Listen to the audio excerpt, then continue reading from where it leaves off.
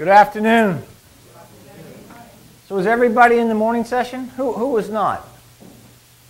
Three, four, five? Those of you who were not, can you just tell us who you are and what you do? Okay. Uh, my name is Mindy Wood, and I'm a student here at CSM. Great, I'm Tina Mikulevich, I'm also a student. great. Glad you're here. Who's here new? I'm Brian Patterson. I'm an academic advisor. Okay. Mr. Jones, I'm a supervisor in council for Taft County Schools. Great. Thank you for coming. Anybody else in the back? Yes, ma'am. I'm Allison Doty, and I'm um, adjunct faculty in communication here at CSM. Good. Glad you're here. All righty. Any questions before we get started? Okay. Well, if you were there, uh, cell phone? Oh, so glad you brought that up. So I have this thing, I have this thing about cell phones. Well, before I tell you that, I want to read something to you because I, I every once in a while, I mean, as you do, you get all these things sent to you over the email, and, and, and I delete most of it, but every once in a while, something really sticks with me. And if you're in education, you're in education for the right reason, I'm sure. My sister's a teacher, she's taught 30 years, and she does it because she loves the kids and she loves her mission and not obviously for the money. So um, I got this email, and it was about kind of loving and how you love, and so I thought it would be appropriate for this group since I know that you do what you do because of the love. So, anyway, I'll read it to you. It says, Just because someone doesn't love you the way you want them to doesn't mean they don't love you with all they have. That might sound like a student or coming your way, and that could, that could be a student's opinion of a, of a teacher. So, this is, this is great about love. Ralph and Edna were both patients in a mental hospital. That could sound like your students too, right? Uh, Ralph and Edna were both patients in a mental hospital. One day, while they were walking past the hospital swimming pool, Ralph suddenly jumped into the deep end. He sank to the bottom of the pool and stayed there. Edna promptly jumped in to save him. She swam to the bottom and pulled him out. When the head nurse became aware of Edna's heroic act, she immediately ordered her to be discharged from the hospital as she now considered her to be mentally stable. When she went to tell Edna the news, she said, Edna, I have good news and bad news. She said, The good news is you're being discharged since you were able to rationally respond to a crisis by jumping in and saving the life of the person you love. I have concluded that your act displays sound mindedness. The bad news is Ralph hung himself in the bathroom with his bathrobe and his bathrobe belt right after you saved him. I'm so sorry, but he's dead. Edna replied, He didn't hang himself. I put him there to dry. How soon can I go home? I like that one. Cell phones. I used to have this real thing about cell phones, and then I went to hear uh, my friend Eric Weihenmayer speak, and I spoke of Eric earlier today. He's the guy who climbed Mount Everest who's blind, for those of you who weren't there. Climbed all the way to the top, totally blind, first and only, and probably ever person who will climb to the top of Mount Everest blind. Uh, he came to Atlanta to give a speech, and, and I knew him. I had spoken with him before in Canada, and so he got there. It was a group of 400 doctors that he was speaking to to do a slideshow on his expedition up to the top of Mount Everest. And I hadn't seen the, the slideshow, so I was really excited. So anyway, I, I sat down, waited for him to arrive, and he comes walking in for dinner first. And I realized he came in by himself. I mean, he had a dog, but no people, no entourage, no leader, no nothing. And he sat at the table, and we had dinner, and then just like just now, someone got up and introduced Eric, the podium. And so Eric got up from dinner, and as he was getting up, it occurred to me that guy got himself from Denver, Colorado, to an airport on an airplane in Atlanta to a hotel, cab, uh, all, dressed himself all by himself, totally blind. And so he's coming up to give his presentation, and he gets over the podium, and his dog comes up and sits down, and, and Eric says, Before I get going, I, I just want to introduce all of you to my dog, Seago. 400 of them. he says, My dog Seago is trained to do two things. Number one, to guide me, obviously, and to lead me and to help me. He said, But my dog Seago is trained to do one, one more thing. He said, My dog Seago is trained to attack. Should a cell phone go off while I'm speaking? Okay? So he told him. He told him. So he gets back here, he starts his slideshow and his speech, and it's phenomenal. I mean, it's unbelievable.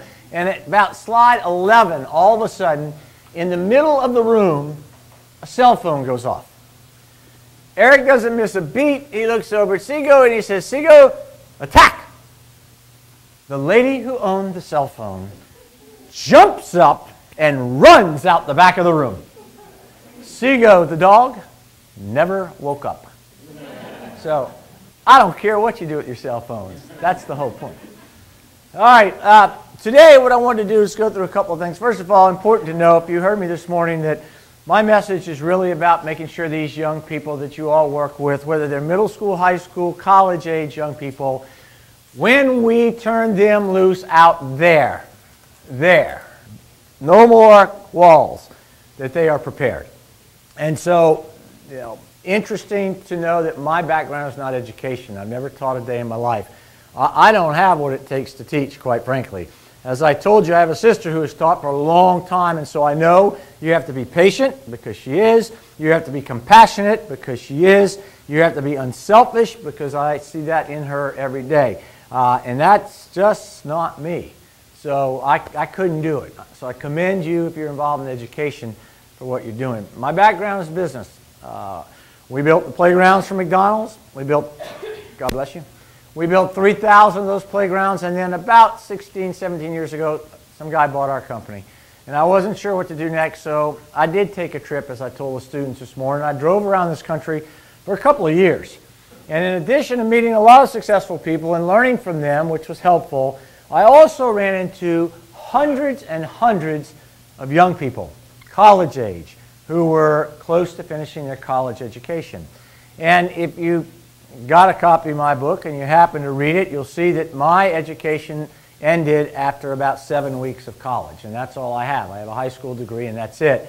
And I'm not proud of that and I don't promote that and I don't talk about it a lot with kids, but it's true and it's important because it makes me look back at my years before that and try to figure out how and where I learned how to do whatever it was I did in business and have continued to do, having no more education than 12th grade education.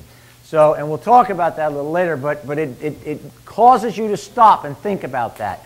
So I met all these people in college, and since I hadn't finished college, I was always curious as to what their plans were upon completion. And so as I traveled around the country, and for those of you who weren't here this morning, I went to 40 different states over two years trying to find myself.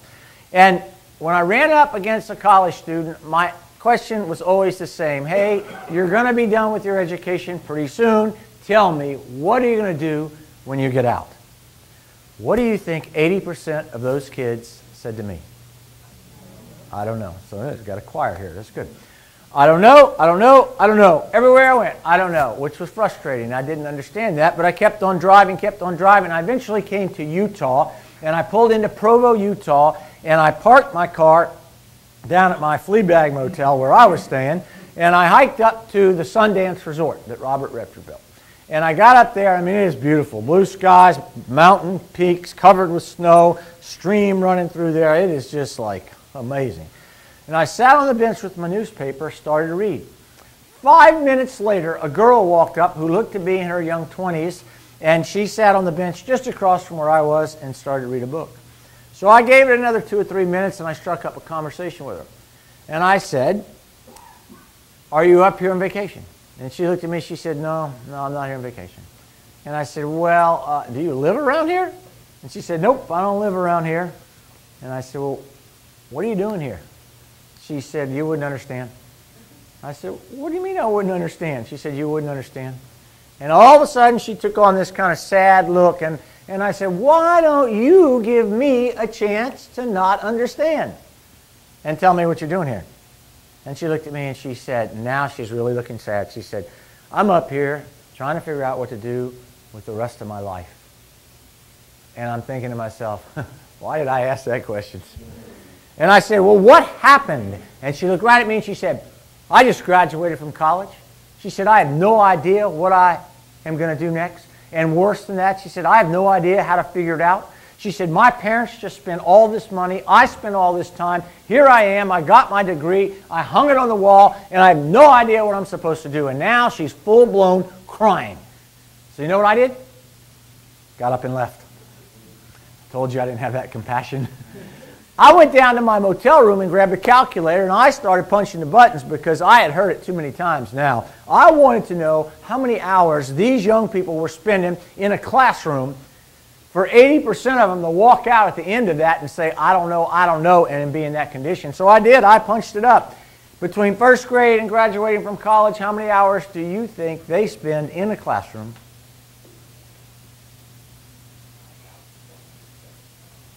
Almost 25,000 hours. Almost 25,000 hours. As hard as educators work, as important as that process is, after 25,000 hours, 80% of the kids out there who are soon to graduate will tell you that they have no idea what they want to do and don't know how to figure it out. And in this economy, now they're scared to death. So I started thinking, something's not right. I, I think we educate young people very well. I think I got a great education in a public school in Louisiana through 12th grade. I think I got a, in fact, I went down to speak at my old high school last spring. First time I've been back to my high school in Louisiana since the day I graduated from that high school. 37 years ago. 37 years ago. I walked into the front of the school and I thought, I got there early. I said, I'll go to the auditorium, I'll check it out, get the mic, see fine. Took two steps and realized, can't remember where the auditorium is. So I said, no problem, I'll go to the cafeteria, have some juice, somebody can give me a little tour to the auditorium, and I couldn't remember where the cafeteria was. I quickly realized the only room I could remember exactly how to get to in the entire school was the principal's office. And so I went there and I walked in, I met the principal, his name is Dr. L. And I said to him, I said, I'm so happy to be here. He said, Well, we're happy to have you here. I said, Yeah, I'm going to speak to all the students. He said, You have the whole school. I said, That's great. I said, I don't know if you know it or not. I said, But I grew up here, right here in this town. He said, Well, I knew that, Chad. And I said, I, went to this high school. He said, I knew that. I said, Well, you weren't the principal then. He said, Thank God. and I said, But I want to tell you something, Dr. L. I got a fabulous education from this school. And he puffed up and he said, Well, that's great. And then I looked right back at him I said, But this school did absolutely nothing to prepare me for my inevitable destination, which was the world of work. And so as I sat up on that mountain in Utah, I started thinking, what do young people need in order to be successful in their inevitable destination? Not successful at their next school and not successful only at the next level of education, but in the ultimate destination, the world of work, where 99.9% of them are going to go, and the, those who don't go, most of them end up in a place they don't want to be.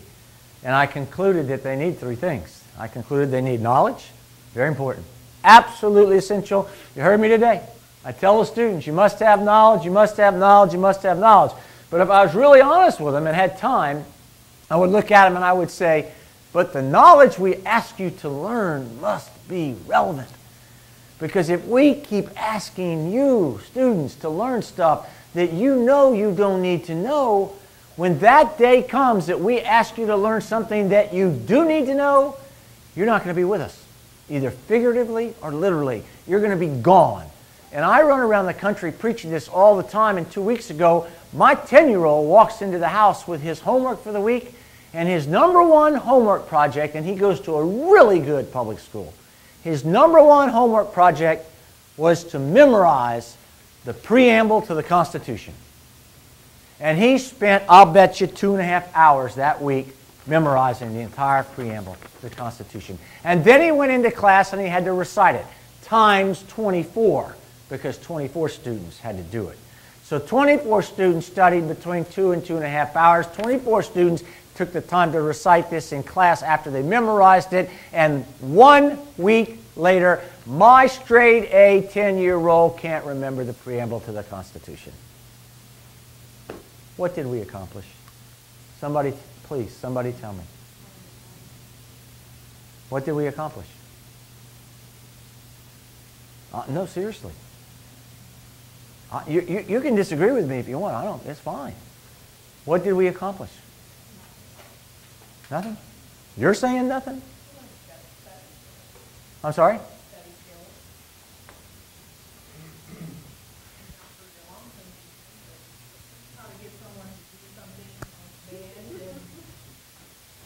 I got a belt for that at home, man. They- However that kid, however those kids learned how to do it, they learned how to do it, they knew there was gonna be a grade, they knew there was gonna be a consequence, if they didn't, which was a bad grade or some kind of discipline, I don't Mhm. But that's What did they learn? to.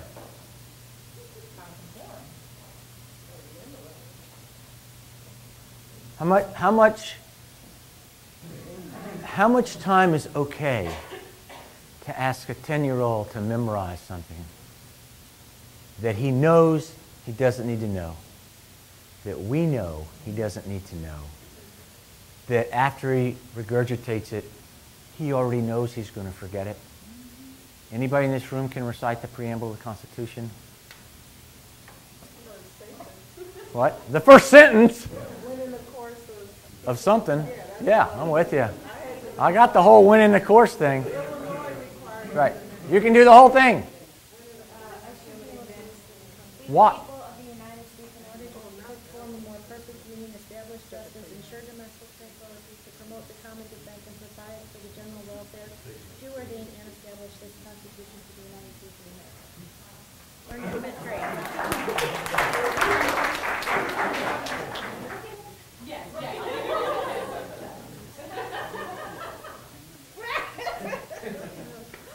You can leave now.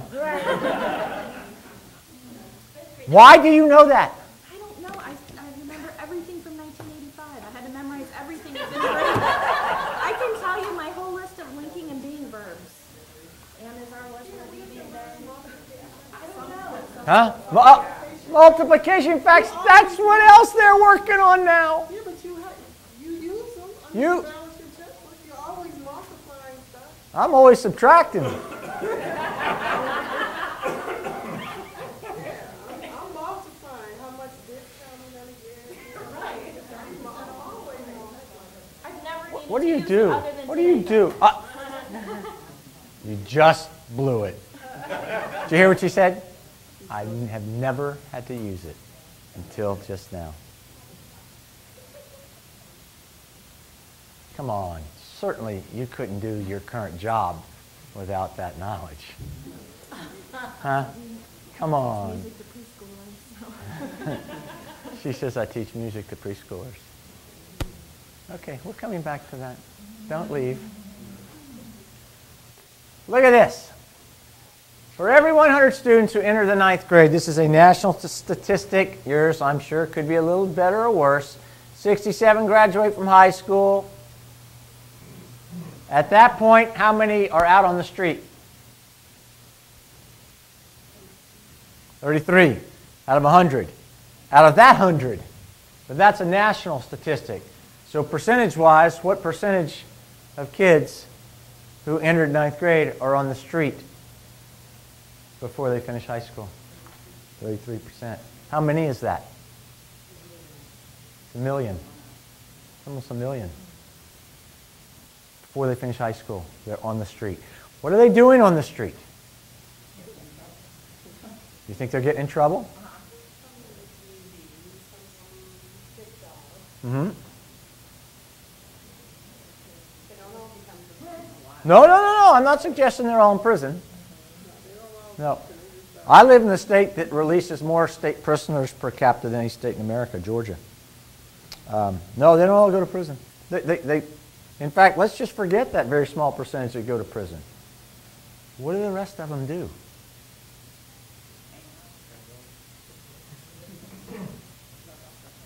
A lot of them go where? To work. Do they not? They go to work, right? Okay. They did before, before the crash, right? How many people are out of work right now in this country? How many?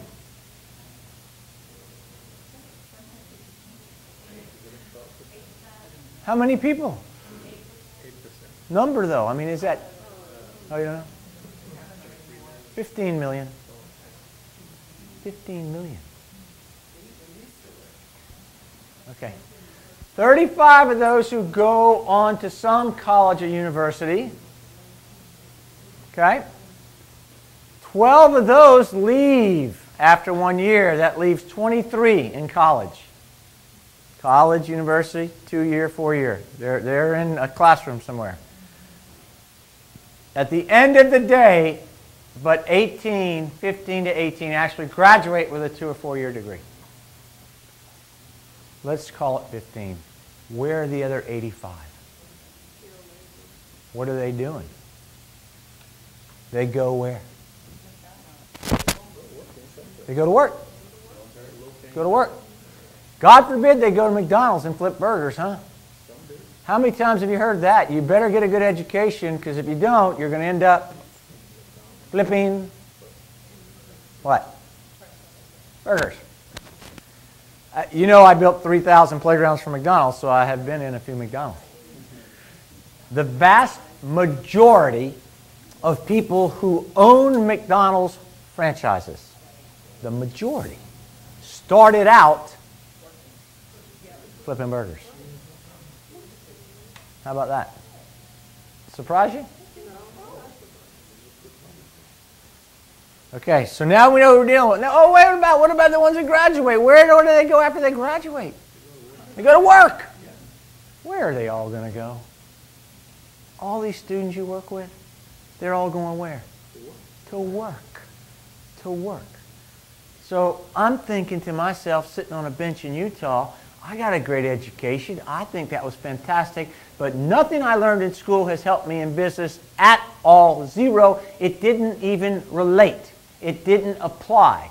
And you can tell me, well, it was good to learn how to, you know, get an assignment and complete an assignment. Uh, yeah. Yeah, I agree. But there are a lot of ways you can learn that that apply. That something she learned, right? She learned that preamble she, because she recited it. You heard her, right? You still know it, or did you forget it? Okay. She learned it. She learned it. Right. None of us learned it. We memorized it. We all had to do that project. And 90 something percent of us forgot it. Come back.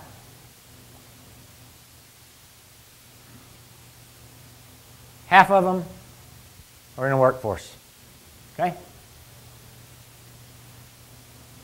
How about that? So that unemployment pool is not full of high school dropouts.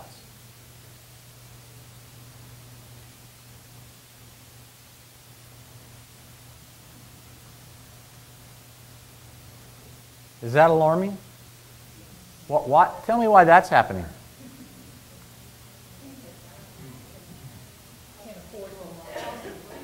Can't get a job that will enable them to afford. Some grown people that have jobs still can't afford it. Right, right. Especially when college loans are set.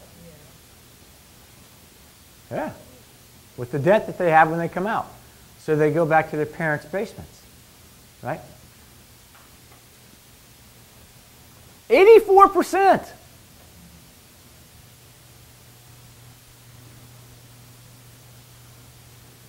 What is your answer?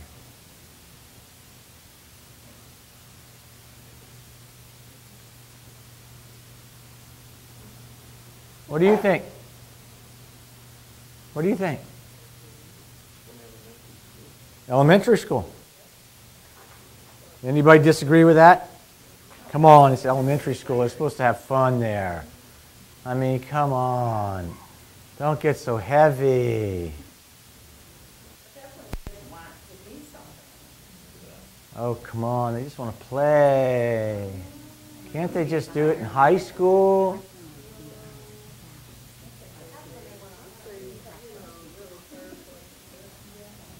I'd say I'd say he's right. Right there, right there in elementary school. Right there. Okay, so we need knowledge. We all agree? We do need knowledge. What knowledge do we need? We, we, can't, we can't teach all the knowledge. It's impossible. It's impossible. There's too much knowledge. You, you, teachers teach seven hours a day, X days a year. You can't teach all the knowledge. Which knowledge? That is the fundamental question. If we're going to include knowledge in the, in the mix, in the recipe, which knowledge should be there? That knowledge? You don't think so? But, but, but, but, but, but, but which knowledge? We agreed that knowledge was important. What knowledge is important? I'm, a- I'm asking you. Well, that knowledge has been identified as being essential to something that they will need to be successful. Give me an example of some essential knowledge that you will need to be successful. That's not knowledge. Those are skills. You are giving my speech for me. You need to travel with me. I love you. Give me knowledge. No, I want it. Basic English grammar. yeah, they need to know The ability to write? The- But, but the ability to write, is that what you're saying? The ability to write? that will be a skill set. Anybody, give me essential knowledge that you must have to succeed. Math? Math? Working a math problem? Coaching your money. Balancing a checkbook? How to, how to take care of your money. He's antagonizing you. First of I'm not antagonizing you. knowing something, working. knowing something is based on ha- wrapping all those skills in. So you don't learn knowledge. It's, knowledge is just, is knowledge that you understand. How many of you have ever watched Jeopardy? What is that? That's knowledge. Okay, so, so you ask, so you ask this question, okay, yeah, well, what's knowledge? Okay, so I want to answer this question. If I'm interested in learning something, I'm going to go and seek information. That's going to give me knowledge. You're going to go do what? If I want-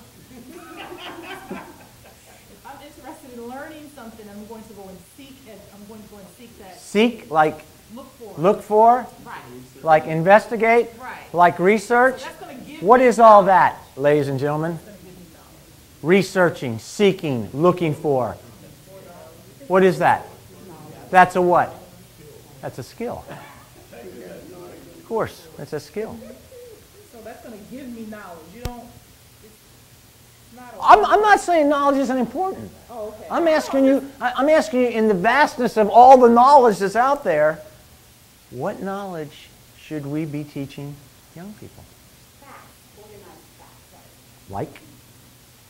How to brush your teeth, which is a skill. How about history? No, nobody said history.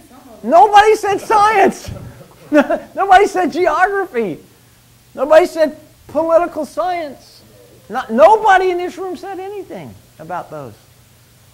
That, that's all right. Well, no, no, I'm not saying you don't do it. I'm asking you to, if you think that's important. Because that's knowledge. You know, is it relevant? Some of it is. I agree. I'm not saying knowledge isn't relevant. I'm trying to figure out on this plate that teachers have that's full already, how much of it should be knowledge, and, and then once we figure out how much of it, what should the knowledge be?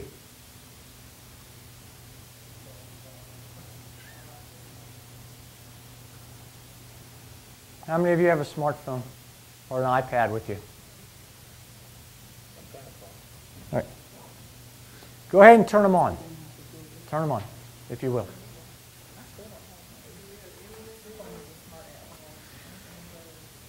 Let me know if internet is a problem in here. Yeah, iPad's fine. It's great. Everybody doesn't have to have it. You'll see. All right. I'm going to give you two minutes to answer the next three questions.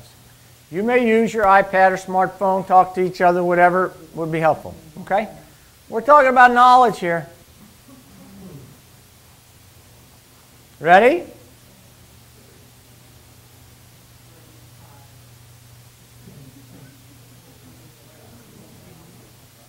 All right, go.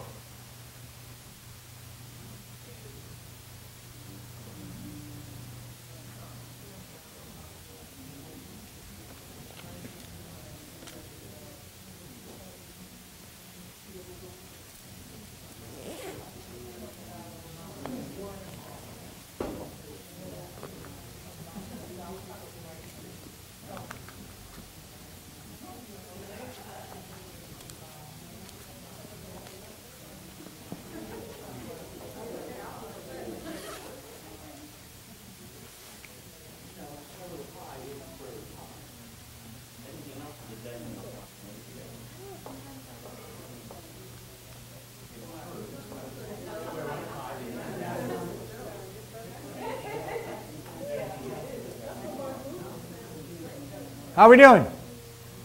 You got one minute left.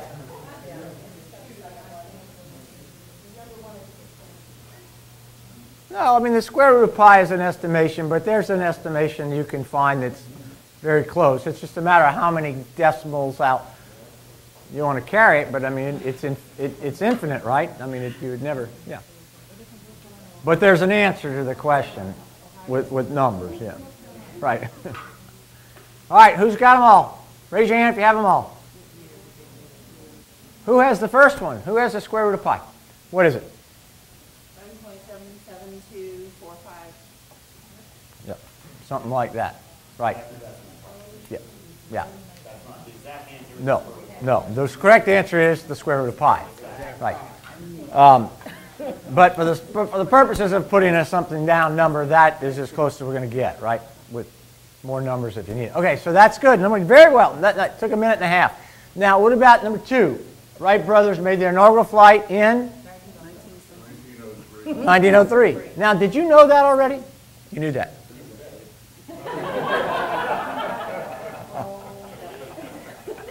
we'll get him, don't worry. Um, you, you knew that because why? Why? Yeah. Probably because I've heard it a lot and read about it and seen it on History Channel. And my father was six years old when that happened. That's why I knew the answer because I had heard about it and I watched it on the History Channel, quite frankly. And I was up at the museum in D.C. and saw it. And so that's why I knew it. Um, but the truth of the matter is, I'm just going to guess that you knew it a long time before that.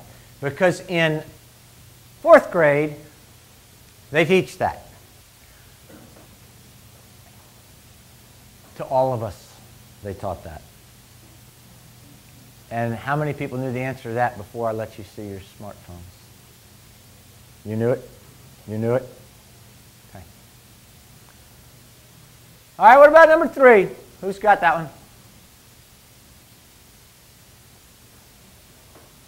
Nobody got Are you still working on it? Nobody got it? Mine just said in, uh, Western Europe, or in Europe, that's all it said. The Battle Mount Roaring? That's really good because there was no such battle. I made that up. And here's why. How many of you sitting in this room today, work with me, to do your job effectively, need to know off the top of your head, without a smartphone, what the square root of pi is? How many of you in this room today, sorry, need to know what year Wilbur and Orville Wright flew their first flight? To do your job. Number three is moot point. So, just a couple more bits of knowledge, right? But all of you, I can guarantee you, I'm sure, I have no doubt in my mind that if I said to you, what part of the cell provides the energy, and I said, just raise your hand if you know the answer, I am sure that everybody will raise their hand because that's a science fact knowledge that every one of us was taught in school. So, now, how many people can tell me what part of the cell provides the energy? Raise your hand.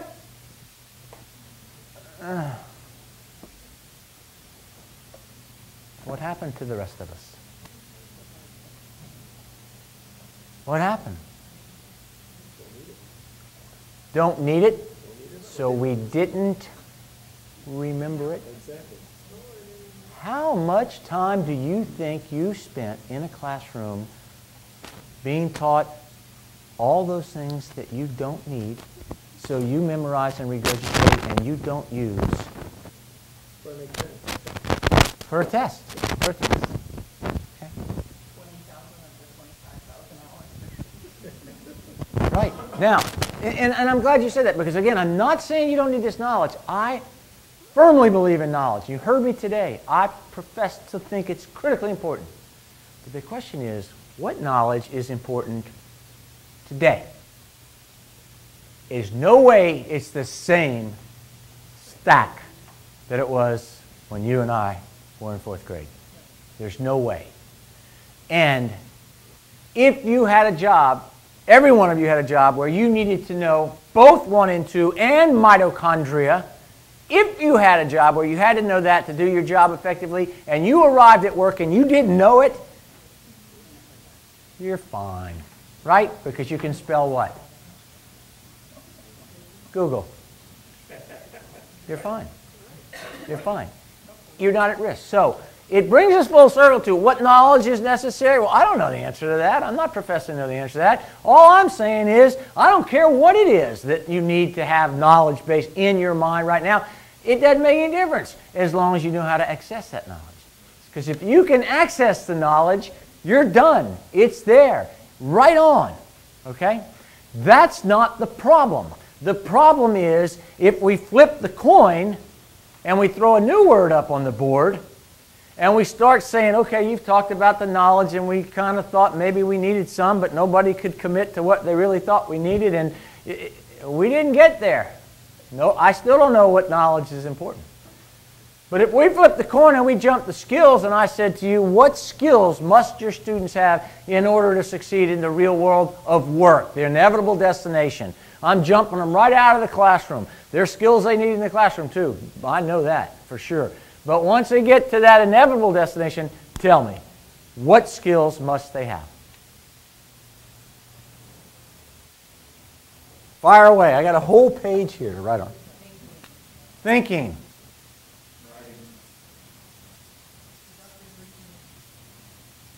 Can we say problem solving?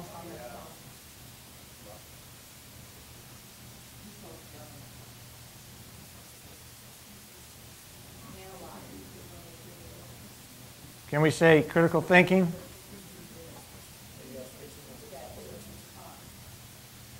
Okay. This is even more in depth.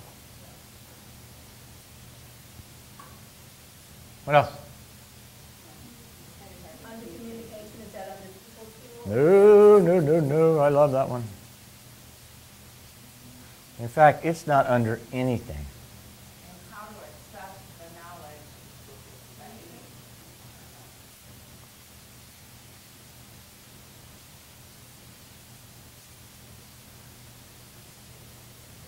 Okay? What else? What is it? Why would you put that on here? And why have we already gone through 10 before you said that? hey, when I was in high school, I told you I went to a great high school. Nobody ever taught me a single thing about computers. Why not? I just want to stand right here, sir, in front of you and thank you from the bottom of my heart for your answer. Because I have asked that same question to about 50,000 educators, and every single time I ask that, I say, why not? Why didn't they teach me about computers? Every single time I ask that question, at least five people in the audience say, they didn't have them back then. And I just want to tell you how much I appreciate your answer, which was, well, it wasn't relevant then. I appreciate that. you better believe computer skills.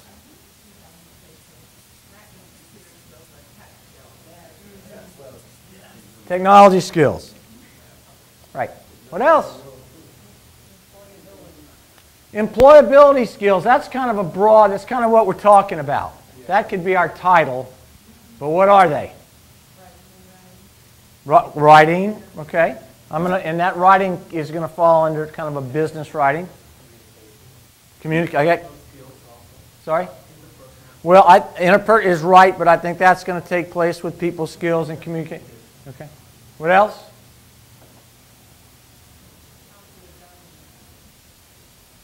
Interviewing skills, Scuba. Uh, but, but, but, but why do I need that? I mean, I'm, you know, I'm 16, but, but why do I need the interview skills? I'm, I'm just going to email. I'm just going to text them. Hmm? Oh, I'll, I'll just, I'll just do it online. Face to face. Huh? It's gotta be face to face. Face to who? I'm 16, man. I, you know, I could. That doesn't work. I'll, Sky, I'll Skype. I'll Skype. No, that does not get you the job. You have to get along with people to make it in the world. But, but with interviewing, you still have to know how to be successful at an interview because there are different kinds of interviews. Um, I've heard, I've done an interview over the telephone and hired one of my teachers and, but still you need those interviewing skills. Right, because it comes across on the phone. You're right. And usually that phone call will determine whether or not you get that face-to-face in some cases, so. You're right. Uh, What else? Work ethic. Great one. What else? Say that one again. Quantitative, quantitative literacy. Can we call it financial literacy? Well, is that okay? Financial literacy?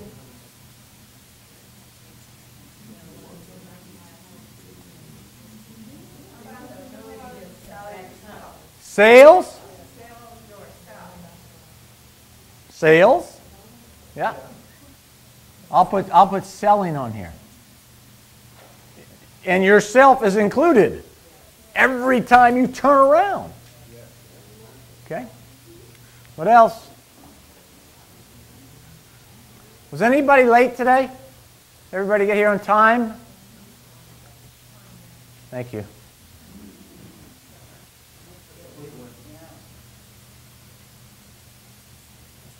Okay. Anybody know somebody that helped them professionally at some point in your life ever? Anybody know somebody who knew somebody who knew somebody else who could help you? Yep, networking skills. Thank you.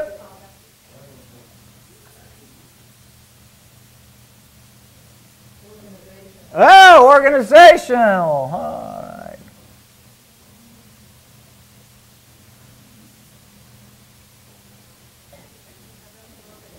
Confidence? What do you think? Is that a skill? I've, I've always struggled with that one. I, I don't really. Self esteem, confidence, security. Well, I, but, but is it a. Well, but skills are learned. But so is, is, is confidence a skill? I know, but so it, would, we, ca- would we categorize it as a skill? No. What would it be? Confidence, self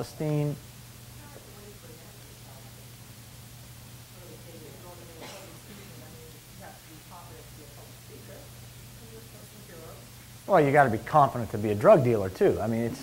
I mean, I think confidence is important. I, I'm, and I'm not doubting. I, I don't know. To me, it doesn't. It's not knowledge or no, and it's not a skill. But is it? It's not a skill, is it? I don't know. Well, we can come back to it. Okay. Anything else? Weeding. How did we miss reading?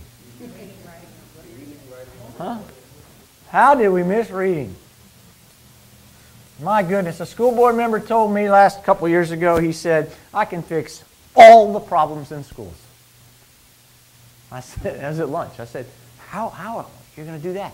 He said, I'm going to make every fifth grader read every one of the classics. And I said, you are going to double the fifth grade dropout rate in an hour. Anyway, okay, what else? Good list. Really good list. Hello. Listening skills.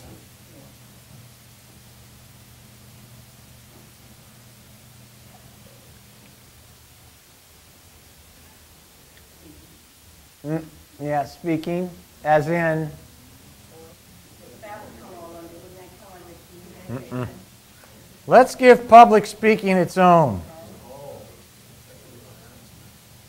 And, and right under listening, what's the other skill? What's the other skill? What is the other skill? I am asking you a question. Questioning skills. All right. You guys are nailing them. Great.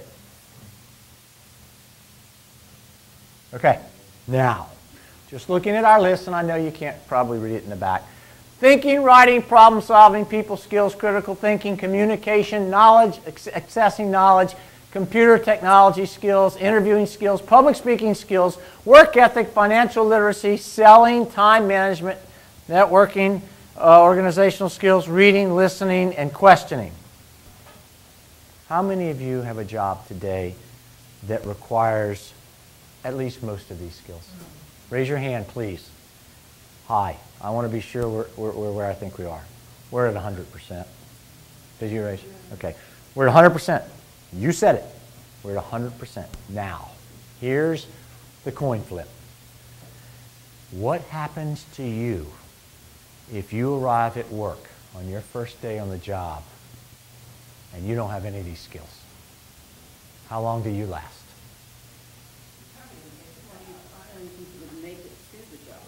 I agree. You wouldn't have gotten the job, but if you did. How, well, that's, that, that's like um, Catch Me If You Can. Did you see that movie? Um, the, the, this is a, a kid, like an 18 year old, who faked being a doctor, an airplane, airplane pilot, etc. It's a true story and you know he faked being the airplane pilot. He got the he got the airplane pilot's uniform and the badge and the whole thing, the whole thing. And, and then he got in the airplane, and then the the pilot asked him to fly the airplane. So you're in trouble if you don't have these skills. We agree. Now, here's the bottom line of all of this: if you get to work and you have a job that needs these skills, and you told me it's 100%, and you don't have the skills, you're done. You're fried for one major reason. You cannot Google these skills like you can Google knowledge. See? These are skills, they must be learned, and they only improve if they are practiced. I hate to simplify it, but how many of you can ride a bike? Raise your hand. Ride a bike. Could you ride a bike when you were one? And then when you got a little older, you finally tried, you got on that tricycle thing, right? And then eventually those wheels came off and you got on the next bike and you tried this skill you had. And the first time you tried to ride, what happened? Fell on your butt, right? Yeah, everybody. And so you got up, and if, if you were brave and didn't get hurt too bad, you tried again, you rode, and what happened? Fell again, right? Fell a few times. Until one day, after you had practiced and practiced and practiced, what you had learned and learned, you got on the bike and you started riding, and son of a gun, it stayed upright. And you started riding down the sidewalk or the road, and your mother, father run alongside of you. They weren't touching you because then it wouldn't be your deal. And they're right next to you, and they're so excited. And you're going, and you're going, and you're going. And then you realize you learned how to ride the bike. You practiced riding the bike, but you never learned how to stop the bike. And so you fell again, right? Until you learned how to stop the bike and practice that skill. And before you know, you can ride the bike. How many of you can ride a bike today? Not well, but, right? If you learned it, you practice it, you got good at it, you can do it. You learn to swim, you practice, you get good at it, you can do it. You learn to throw a baseball, you get good at it, you do it. Shoot a basketball, play a piano. I don't care what the skill is. Communicate, network, organize, manage time, technology. If you learn it and you practice, you get better. And then 20 years later, when you're in some workshop with a bozo like me who says to you, huh, okay, I got three questions. Can you ride a bike? And I have a bike. You say, sure. You get on the bike and you ride it. You don't stand here and say, well, no, I, I, yeah, I know that pi, square root. Uh, what year did they fly those planes? What? You don't say that because you see, that's knowledge that you memorized, regurgitated, and forgot. These are skills. That once you have them, you have them, and you practice and you improve, they're yours, and you own them. So we've all agreed students must have these skills in order to succeed. We have agreed they must learn them in order to have them, and we've agreed that they're only going to improve if they practice. So the question is simple. Here's the plate. The students come into the schools by the millions. We have this plate. We have limited time to teach. We have limited years to get it done. What should be on the plate? What percent of it should be stacked up with skill, education, or as I call it, preparation? And what percent of it should be knowledge? And how do we make that mix work for all students? I don't know the answer to that question. All I know is they're all going to work. They all need these skills. And the biggest point of the day is see these skills? You didn't learn them in school. I didn't learn them in school. For the most part, we learned them where? Home. We learned them at home. Yeah. Students are not learning them at home anymore. Now, do I think that's right? No. Do I think you should have to take that on? No. But if you really want to get them ready and fully prepared and not just be educated, then we have to. We have to. We have to take it on. We have to add it to the mix. Let's look at them. I put an asterisk by communication because I think communication is the number one foundational skill upon which many of these others can be built. Certainly reading is right in there as well, but upon which they build, I think communication. So we're talking about asking kids to communicate with people. In some cases, people they don't know. And I told a story this morning, you heard about the strangers and all that, and, and it's very true. Uh, you know, I have an eight-year-old, a 10-year-old. I understand the whole stranger danger thing. But at some point, those young people need to learn to walk up to a total stranger and have a conversation. Why can't they do that? There are 16-year-olds who can't do that. There are 18-year-olds who can't do that. Why not? Number one, I think, true, partially because their whole life they've been told don't talk to strangers. I agree.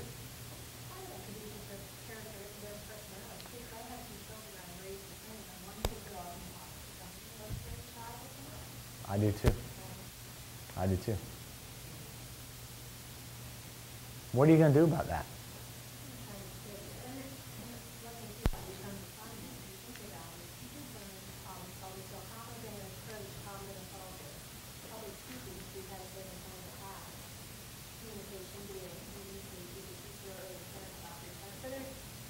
No, no, no.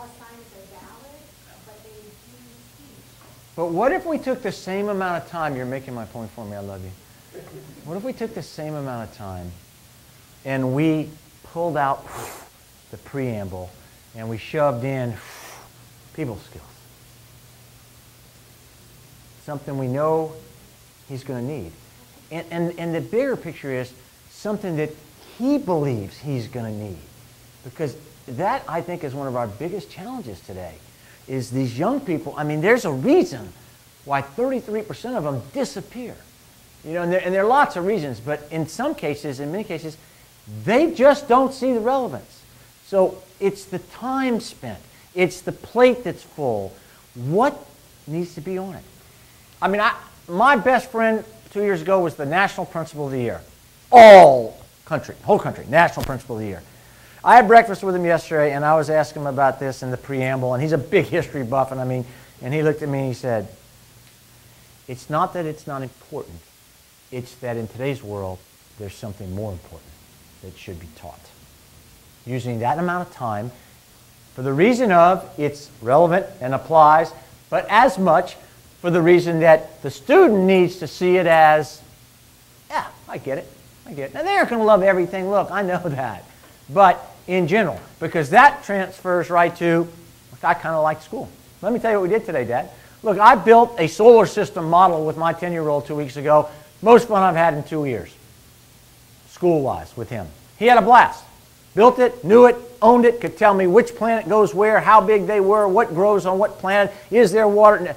Unbelievable. That's all knowledge. It's all knowledge. We did it by building a model. Okay. So communication. They've been said taught not to talk to strangers. They didn't learn it at home. In order to have a conversation with anybody, anybody, young people have to understand they only need to do two things. Number one, ask simple questions. Too many young people think they have to have some very complicated, complex questions, all lined up, ready to talk to a stranger, particularly an adult. When in fact, all they have to do is ask simple questions, number one, and listen to the answer they get to that question to come up with their idea for the next question. Fair enough? Have we ever met before? What is your name? Rose? Where are you from? Originally? Chicago area. And how long did you live in the Chicago area? 24 years. And then you moved where? Ohio. Where were you in Ohio? Bowling Green, Bowling Green. How long did you spend in, Ohio, in Bowling Green? two years, Two years. And then where did you go? back to Chicago, Back to Chicago. And you stayed how long that time? one, One. How long have you been living here in this area? oh, since nineteen 78. And uh, are you married? I'm widowed, You're widowed. Do you have any children? two, How old are your children? We have thirty, There, where do they live? And what do they do? And do they have any children? And what are their favorite places to vacation? And how long could we talk? Well, I would have to do some talking back. Yes, out there, it's true. Both people would do it, which is even better because it gives me a little more time to take it in and think and get. But the truth is, I could talk. We could talk forever, couldn't we? Because all I'm doing is asking simple questions, listening to her answer. And I know that sounds elementary to you, but 80% of your students can't do it. 80, what? Yeah, can't do it. Yeah. Well, yeah, and we, yeah, and that, that is another issue here for sure. And to your point, they can't text their job interview, right? So simple questions, and I listened to her answer. That's all I did, and we could talk forever. And, and then I would introduce to the young people. After you understand, you just ask simple questions. You listen to the answer to get your idea for the next question. Then you stick to three subjects. What do you think they are? Wait a minute. First of all, what do people like to talk about? Themselves. Okay. And in talking about them, themselves, what three categories do you think? Family? Jobs? Hobbies. Family, jobs, hobbies. Family, jobs, hobbies. Family, jobs, hobbies. If you remember nothing else today, teach them. Family, jobs, hobbies. Those are the subjects. Simple questions. Listen to the answer. You will develop communicators. Uh, no, you're, you're, you do you have two daughters, ma'am? Do you have two daughters? Two daughters, okay. Because I have two sons and I have the identical situation. Family, jobs, hobbies. Listen, get your idea. Simple, great. If they do that, they're all going to get better. Your two daughters are not going to get even. They're not. They're starting here, right? This one, this one won't talk to anybody, right? And this one will talk to a wall, right? They both get better. They both get better. They both get better. That's our goal, that they get better. Our goal is not that they get even. That's not what's going to happen. All right? My two boys are never going to get even. That's not the purpose, the goal, the intent. The intent is that they get better. So your, your daughter who's an introvert, shy, gets better. Maybe never passed here better, but better. And, and your daughter who lets it rip, she gets better. Better, okay? Because she has a skill that she can practice and improve. The basic art of conversation, which once you can do that, leads you into the next skill, which is networking, which is the ability to meet someone that you don't know, get to know them by talking to them and communicating with them and listening to them and asking questions of them. That was five skills right there in that two sentences. Okay? And then staying in touch with them. Right? What happened to, I'll pick on him. You're fine. When you were younger and you met somebody and you wanted to stay in touch with them, what did you have to do?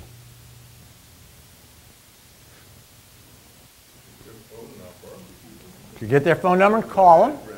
Address and do what with that address? Do what? With a, like a utensil? On, on like a what, like a piece of paper? And then do what? Make an airplane out of it? No, serious. But- but so you had to fold it and put it in the envelope, which you had to buy, and then what'd you have to do the envelope? Lick it, right? Close it, and then the stamp. And when you were young and I was young, what'd you have to do to the stamp? Lick it. They didn't have the self-adhesives then, right? So, so now you're a piece of paper, an envelope, a full two licks, and you know, 18 cents, right? And four days, and they got your message, right? Now you stay in touch with them. Now, today, in your opinions, is there any excuse for a young person not to be able to network in a professional sense? They don't need the envelope, they don't need the stamp, they don't need the tongue, they don't need the money, they need nothing. All they have to do is stay in touch. Stay in touch. But you know what? It's a skill because it doesn't include professionally nine letter words that are reduced to one letter. It doesn't. It doesn't include all lowercase letters. It doesn't include absolutely no punctuation at the end of a sentence. Doesn't include all that. It can still be done the same way with thumbs, but it has to be professional. So they already know how to network. They are the masters, the magicians at networking. We simply need to teach them how to transfer that skill into a professional setting, and they're off and running in networking. There's no excuse that they wouldn't have great networking skills once they see the value of that. Once they understand that if I meet you, get to know you, get along, and then you, you might be able to help me someday when I'm coming. Or, amazing, I might be able to help you. Can you imagine? I, went to give the commencement address at a university in South Dakota five years ago, and I, I went up to Rapid City, flew in, got there next morning, drove to the facility, Great Big Civic Center. And I'm down in the basement where everybody's getting ready. Well, as you know, I've never been to a college graduation, okay? So I don't really understand everything. And I go down there, and they tell me if you're going to give the commencement address, you have to wear the, the gown. Fine. So they give me the gown. I'm down there. I'm trying to get the gown on. I cannot find the pockets. I know they're there somewhere. And I'm all twisted up. And all of a sudden, somebody right next to me, a gentleman, says, Do you need some help? And I looked up and I said, Yeah. I realized the guy asking me if I needed help getting on the gown was the president of the university.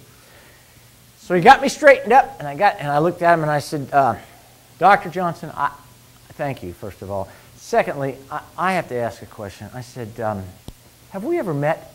He said, "No." I said, "I didn't think so." I said, "But have we emailed?" He said, "Nope." I said, "Did my office send a DVD to you so you see me speak?" And he said, "Never seen you speak, Chad."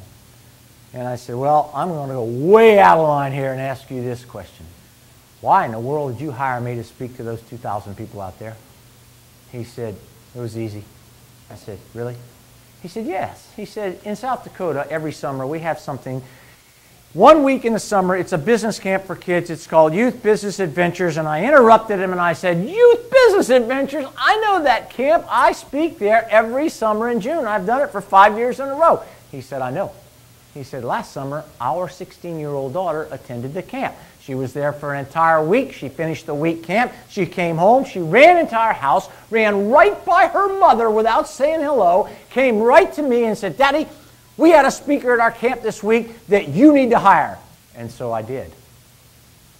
You see, that 16 year old got that job for me. So sometimes it's a younger person helping an older person. It's a two way street. Okay? networking skills. No young person today is going to make it without help. 15 million people out of work, probably 13 million of them have experience. Probably 5, 8 million of them are really good at doing something. That's the competition for the student who's coming out of college with no experience, no work resume, no contacts, right? that's who they're competing against. It's even tougher. So, networking skills, people skills. You heard me today. It, to me, people skills are the most important skill you can have. Absolutely. I mean, you, you, you know, you heard the iced tea lady story. That, that's not uncommon. I mean, everybody. Well, how many of you have ever had to work with a jerk? Just raise your hand. If, you, if you've ever had to work with a jerk, raise your hand. Ever. Don't, don't look left or right. You, all you do is you raise your hand. Okay. They're everywhere. And, and it's not just the ability to deal with them, it's being prepared to deal with them before you need to deal with them. You see? It's not let's learn it on the job. Let's learn it after the fact. That, that, that's not what we're talking about. Okay? What we're talking about is you walk into a situation, your students do, and all of a sudden, bam, they need people skills. They can't Google it. They need people skills right there. I wrote a story in my last book, the Career Readiness book.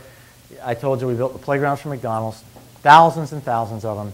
McDonald's had a guy up in Chicago at their corporate headquarters by the name of Pat Hines, who was in charge of all new construction projects. And so Pat Hines, from the day I met him at 20, I was 27 years old, never liked me. He thought I was too young, didn't have any business, didn't like me at all. And so as we got busier and busier building these playgrounds for franchisees all over the country, after he told me not to do that because he wanted to watch our product for two years to see if it really held up. He wouldn't let me do any of the company stores, the ones owned by the corporation, but I could do the franchise. So I did the franchise, and I had done 2,000 of them. In the midst of all that, once a month he'd have his assistant call me Tuesday afternoon, 5 o'clock, and say, Mr. Hines needs you in Chicago tomorrow morning for a meeting. I would have to shut everything down, buy the most expensive plane ticket there was, go to Chicago, get a car service, go to the Oak Brook, Illinois corporate office, I'd walk into a conference room with a table this size. Mr. Hines and his five or six little people would sit down. They'd beat up on me for about 30 minutes. They'd get up and they'd leave. I'd go home. The next month, same thing. And this went on year after year. So finally, one day, assistant called me. Need you tomorrow? Fine. I flew into Chicago, took the car service. I walked into the conference room 10 minutes early. Great big conference table. I sat at the end of the table because I knew he was going to sit at the other end. I used to call him Pat the Rat. And so he's over there, not to his face. And so he's a, the doors open and in come Pat the Rat and his six people. And they sit all around the conference room. And I'm sitting here. Nobody says hello. Nobody says anything. He looks over at me and he says, I've been doing some research. He's got this folder in his hand. And he said, You are providing that rubber surface for us on our playgrounds all over the world. He said that rubber surface is made from polyurethane binder and recycled tire rubber that comes from Columbus, Ohio. He said, I know now how much the binder costs, and I know exactly how much that recycled rubber costs, and we have very accurate calculations on your labor costs. He said, You're charging us $22 a square foot to install that surface on our playgrounds. And then he looked at me and I quote, he said, you are raping us. And he put the folder down. And I looked across the table and I said, Mr. Hines, with all due respect, I said, I live in Atlanta, Georgia, as you know. And I said, and as you also know, Atlanta is the home of Coca Cola, the greatest soft drink in the world. And I said, You serve it at every one of your restaurants in the whole world. You serve Coke. I said, and since I live in Atlanta, it only stands to reason that I probably would know some people who work at Coke. And I said, since I do know people who work at Coke, I know how much the syrup costs, and I know how much a large cup costs. And you sell a large Coke in your stores for $1.17. I said, now you tell me, Mr. Hines, who is raping whom? And not a word was said. He stood up. His six people stood up. They walked out of the room, closed the door. As soon as the door closed, I jumped up in the air and went, yes! I never felt better in my life. I thought I just conquered the biggest giant you've ever seen in your life. And I sat there for a little while. I got on the plane. I called all my friends. I told my partners. I just told everybody what I had done, how great it was. Three weeks later, Mr. Hines went to California, paid off one of our guys, got the formula from him, set up another company in California to compete against us, and gave them 200 projects to start off their business at $10,000 apiece. The title of my book chapter is The $2 Million Big Mouth. Because had I kept my mouth shut, that never would have happened. Not only did we lose $2 million, but within two years, we got out of the business because he had created so much competition that the prices were driven down and wasn't worth it anymore. All because I was too stupid to know that I needed to keep my mouth shut and not to burn that bridge. I needed those people skills before I walked into his office, into the conference room, not after. So students need them now, not later. Okay? All right. Um, we're going to take a break. Is that what you're telling me? Yeah. Okay. Change tape. Okay.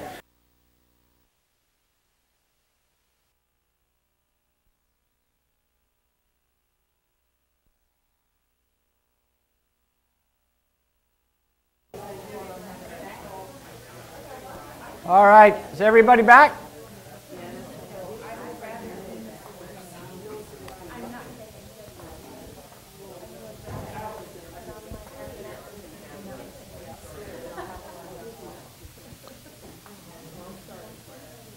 Are we missing anyone? Or you think we're here?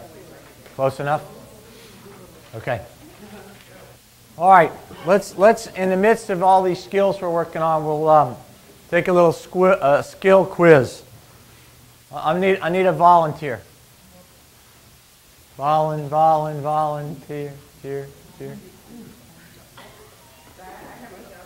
Yeah, if you're gonna volunteer. No. You don't have to. Somebody else want to volunteer? This is painless. This is so e- This table in the back is way too quiet. I'll go. Oh, he just saved you. Hey, you on their payroll or something? No, no, I just, Huh? Is your boss at that table? no, she's not. Okay. All right. All right. He, now, tell me your name, Brandon, Andy. Brandon, Brandon? yes. Pleasure. Brandon is going to need some help, okay? So get ready back there. All right. Following slide will list one skill. You have two minutes to learn the skill. Everybody get your smartphones out. You may use your smartphone or iPad to do so. Got my volunteer, Mr. Brandon here. Skill is piece of cake, huh? Yeah. That's not the skill. Oh. you are floating over here. Oh, like, I got this guy. Okay. They couldn't have helped you with that either, though. Don't worry. All right, ready? That was too easy.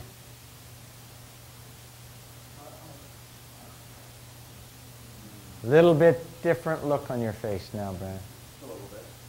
The skill of keeping two or more objects in the air at one time by alternately tossing and catching them. Okay? That is the skill.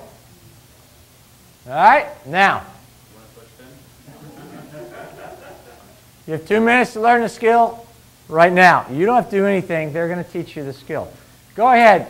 Use your smartphones, your iPads, and in two minutes, you need to have Brandon ready to go. Whatever you want to do, I'll give you two minutes. You can start telling him what he needs to know how to do.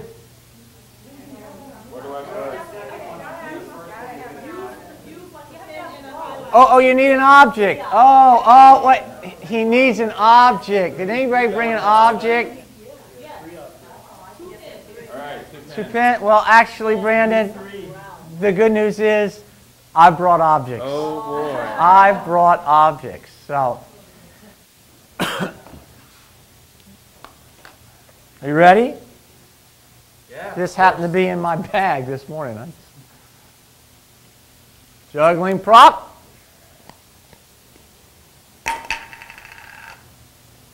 Imagine it was just right there, right there.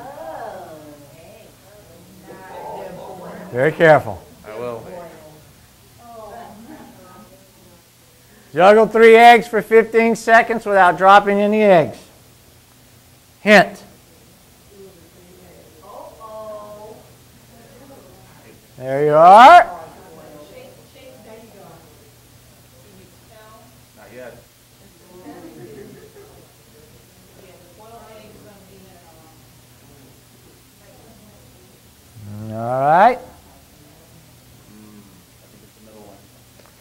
Whoa, whoa. Two minutes is almost up. All of your help is getting ready to be here. Are we almost ready to help? You smart? Good eye and hand coordination. Ah, Hand-eye coordination, she says. Step one, hold a ball in your right hand. Okay, it will be an egg in this case. Step two, be aware that as you juggle, you'll be moving your hands in two independent circles. Your right hand clockwise and your left hand counterclockwise. Um, Left hand, left hand about a half rotation. What I'm here to tell you, Brandon, is that if you can't juggle in the next three minutes, you're losing your job. Oh, man. Well, yeah, I mean, they've got uh, smartphones and iPads. Certainly we can do this, right? Yeah, sure we can. Anybody else have any suggestions? Your two minutes is up. Come on, did you Google it? Wait, what are you telling me? You can't Google a skill? You guys were great on the square root of pi and uh, Orville and Will, but He'll right, learn by doing. Learn by doing, she says. All right, I guess that's all the help you're going to get. Are you ready? No, but I'll. Three, I'll do it three eggs for 15 seconds without dropping any. All right, 15 seconds, right? Right, uh-huh. Let me know when to go. Oh, you can go anytime you want. All right, one. Oh, you mean juggle? Yeah. I thought you meant when you wanted to just go. Oh, I can go? No, no, come juggle. Maybe I should put a tarp down. Okay, here we go. Ready? The skill that we Googled. Starring Brandon. Any day now. Oh! Well, that was one second, right? The good news is they were all hard boiled, Brandon.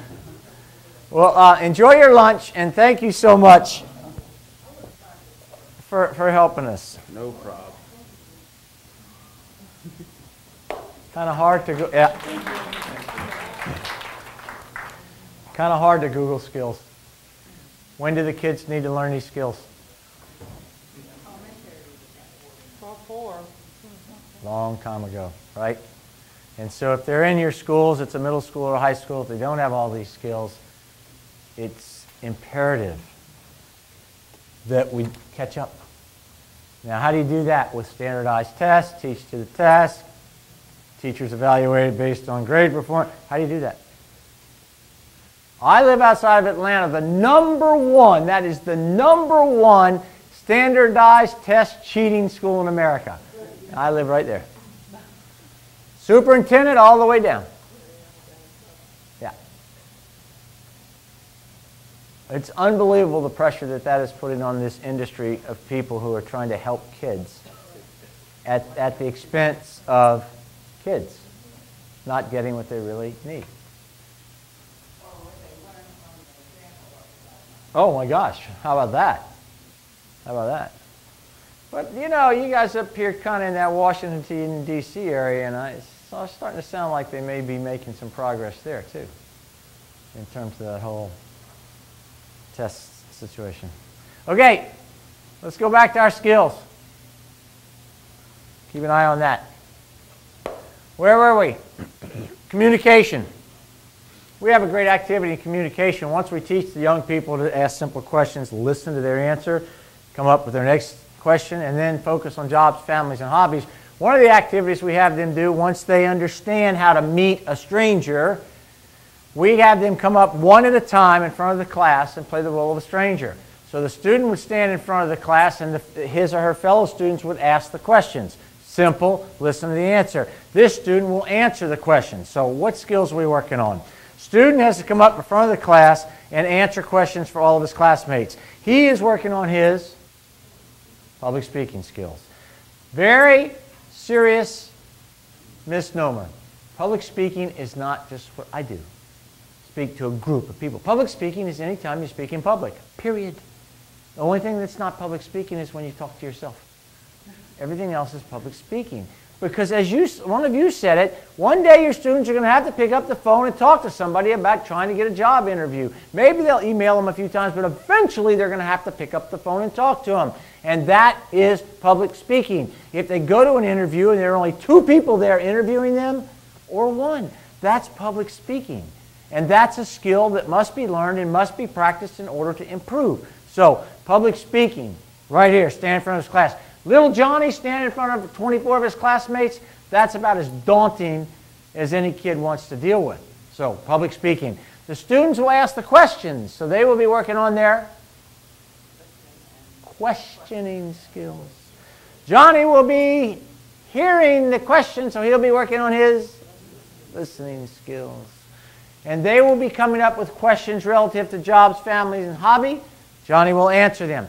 We don't want Johnny to be Johnny because if I'm Johnny and you're my classmates and you ask me my name and I say Johnny and you ask me how old I am and I say 15, you're already bored, right? So I'm going to let Johnny create his own identity. I'm going to let Johnny be anyone he wants to be for one minute. Why one minute? That's their attention span. So I got Johnny up here for one minute, creating his own identity. He can be anyone he wants to be. The students will ask him the questions. I've been in a class where we had uh, Shaquille O'Neal. We had, um, who else was in there? Um, uh, Madonna. Uh, we've, we've had some real clowns there only for a minute, thankfully. But it gives the kids a chance to create, critically think, solve a problem, come up with the name of somebody they want to be, and then be that person. And for the next one minute, that's who they are. They sit down. Another one comes up. For one minute, they sit down. Everybody stays involved because they're moving in and out, in and out, playing the role of a stranger. At the end of that one hour class period, everybody in that class has had a chance to participate, and everyone in that class has a new skill. They're not all here. Some are here and some are there. But they all have a new skill that they can practice, which is good because the next time we get together, we're bringing in a school community stranger. This is an adult, so we're taking it up to the next level. Someone they know, kind of, sort of, they've seen around school, but they don't know really well. But it's an adult, so we're taking it really to the next level. The adult stands in front of the class, and they too play the role of a stranger for 10 minutes. And the students start asking their questions simple, listen, jobs, families, hobbies, and they're asking it now of an adult. And it's not the school counselor. It's the school counselor, but that's not the role they're playing. I watched a lady walk in the other day, school counselor. She stood in front of the class. First kid in the first desk looked at her and said, What's your name? She gave her real name. I'm in the back row thinking, Lady, I'm already bored. And the next kid looked at her and said, What do you do? And this lady looked right at him and she said, I run a $250 million corporation. And a little girl in the back row jumped up and said, Wait a minute, I thought you were the school counselor. And she looked at it and she said, That's my part time job. And she went on for 10 minutes about this big CEO job, and when she got finished, those kids didn't know who she was. And she walked out the room, and another one came in, 10 more minutes, walked out, another one came in, 10 more minutes. Why do we keep doing this over and over and over? Practice, practice, practice, practice. So now students realize the same process that worked for little Johnny worked for, for, for the counselor, the, the grown up. Now they have a skill. They can go home, practice it with their parents, their parents' friends, their friends' parents, any adult they meet on the street, their coach, the people they work with. The next time we get together, we bring in a total stranger from the business community, someone they do not know that comes from the business community who makes them the right messenger. You see, you know the messages. I know the messages, but sometimes we're not the right messenger, right? So now we bring this business person in, and he or she stands in front of the class, and they are who they are. And the students go right through it again. Simple questions, listen to the answer, job, family, hobby. Now they're getting the answers from someone out in the business community. All right? All takes place in three hours. They have now developed the art of conversation, the ability to communicate with people from all walks of life who they don't know. And all walks of life, yes, it's important. It's important for these people who come in and speak to the kids to be diverse. I want them to see a cross section, which is what they're going to see out there when they go to their interview. So they're comfortable with that. Comfortable with that. Okay? Meet a stranger. The next activity we do is the unusual job report. I'm going to let you guys do it with me.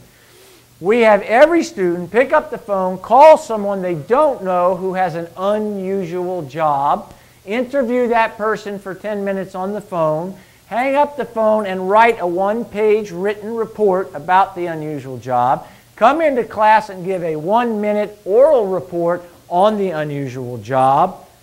What skills are we working on there? Kid picks up the phone and talks to a stranger. which they can do now. They have a conversation with them, art of conversation. They ask the questions, questioning skills. They have to listen to the answer, listening skills. They've met someone in the business community, networking skills. They hang up the phone, they write them a thank you note, very important skill.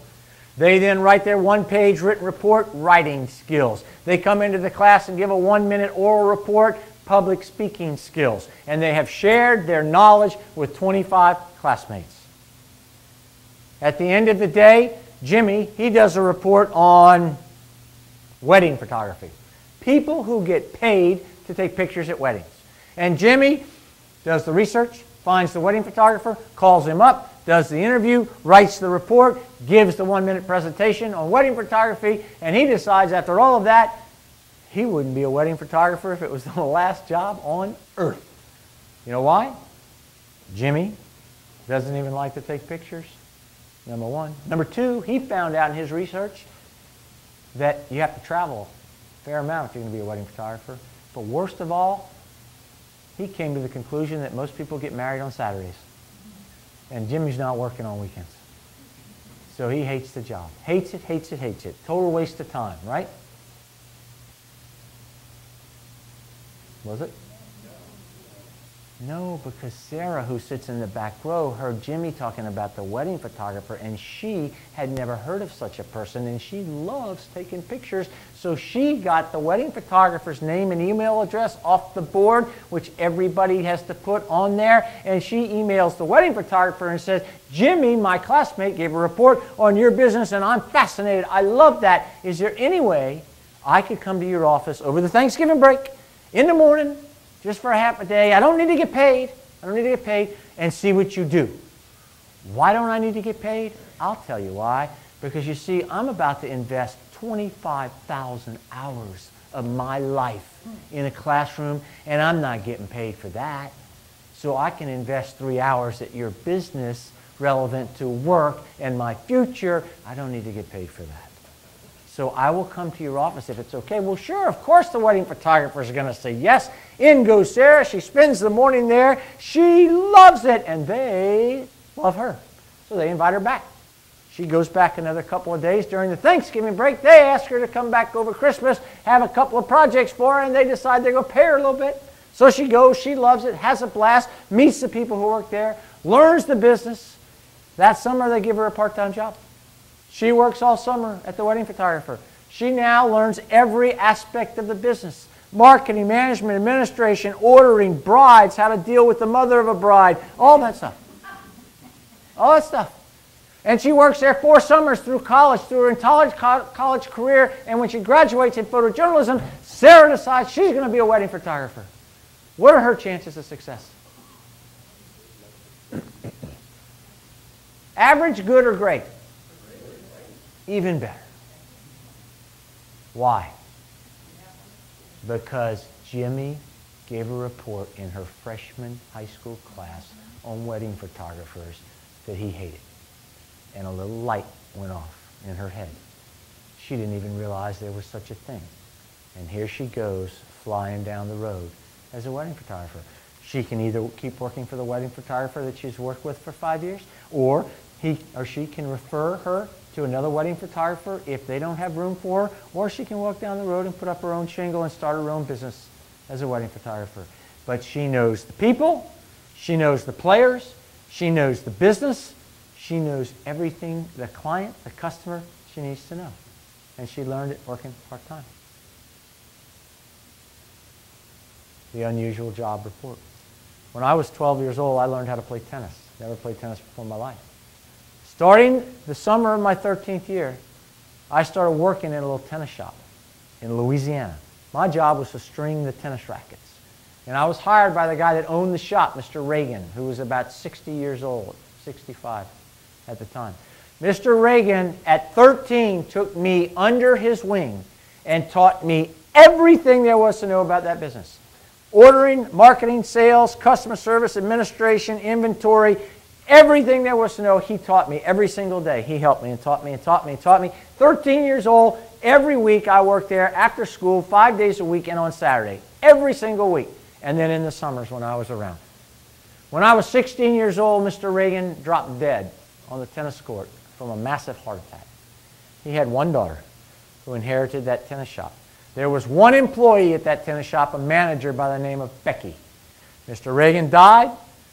His daughter came into the shop to talk to us about the business and said, We're going to sell this business. And then she looked over at Becky and she said, You're the only employer we have. We don't know anything about the business. And Becky said, Well, you know, we can keep running it and Chad can work. And so the daughter said, Well, okay, we'll try it. And so they kept the business open. They had nothing to do with it, didn't even come in. They knew nothing about it. So Becky ran it every day. The manager, Becky, and I came in after school. And we worked, and we worked, and we worked. Six weeks later, Becky came up with a new marketing strategy. At the beginning of the day, she would come in with her clothes that she had home, came from home, walk into the dressing room with brand new clothes from the store, change into the brand new tennis clothes, put her old clothes into a bag, and at the end of the day, she would forget to change back into her old clothes. And she would go home with the new clothes. And two days later, she'd do it again. And then she'd go home with the new clothes. And she'd never bring the new clothes back to the store. And this went on for days and days and days until one day she forgot her bag of old clothes at the store. And the owner's daughter came in, found it, figured it out, confronted her, she admitted it, and they fired her right there on the spot. So now there's a tennis shop with no manager, an owner who knows nothing about it, and a 16 year old kid who works part time. So the owner came to me and said, We probably have to sell the shop. And I said, Okay. She said, Because we don't know anything about this business. And I said, I do. She said, What do you mean? I said, Your father taught me everything there was to know about this business. I know it from start to finish, top to bottom. You name it, I know how to do it now because he taught me. And that lady looked at me and she said, Can you teach us? And I said, Sure. And when I was 16 years old, that lady paid me the equivalent of one of your students getting paid $40 an hour to teach her what I knew about my part time job. Now, the point is not that I got paid to do that. The point is that that is the only experience I ever had about business. I've never taken a business class in my life. I've never gone to business school. And the principles that I learned from that guy at age 13, 14, 15, and 16, I have been able to apply to every business I've ever owned since then.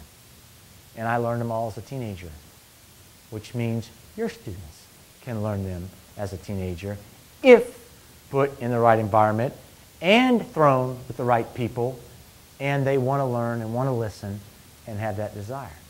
So the unusual job report opens the door to students to 25 or 30 unusual jobs. Not only the job, but the people. Because the third ingredient of success after knowledge and skills is people. People make people successful. Period. Nobody in this room got where you are today without the help of somebody, somewhere along the line. So that is critically important. That's also why part-time work is so important. Because it's during that experience that young people will learn the work ethic and the things that they need to know. Okay. Uh, next, computer skills we talked about. Unfortunately, I didn't get in high school. We don't have to talk about that again. But today, you know it. They can't make it. And the more they know about technology, the better off they are. This is simply a matter of transferring existing skills into a new environment, from a social environment into a professional environment. Whether it comes to research or texting or social networking or website evaluation, we simply need to take them and take that piece of their mind and turn it so that they can apply that professionally. That is not rocket science, but it has to be clearly stated. Today we're playing for fun. Tomorrow we're working in technology for real. Serious business. Okay? So that they can do what they need to do. They can come out and bang out PowerPoints and Excel spreadsheets and documents, and they know what they're doing when it comes to technology. Much more so than I will ever know in my life, which is one of the challenges today. So many of these younger people know so much more than us but they have to be able to apply it without question to that. Um, we talked about this interviewing. The 15 million people who are out of work are out there. However, every month, three or 400,000 people get a job. You read the jobs report, right? USA Today did a very interesting article about six months ago on those people who are getting the jobs. Who do you think is getting the jobs? Who are those people?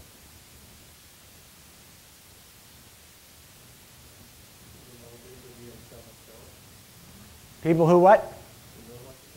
Who know how to interview and sell themselves? Say that again.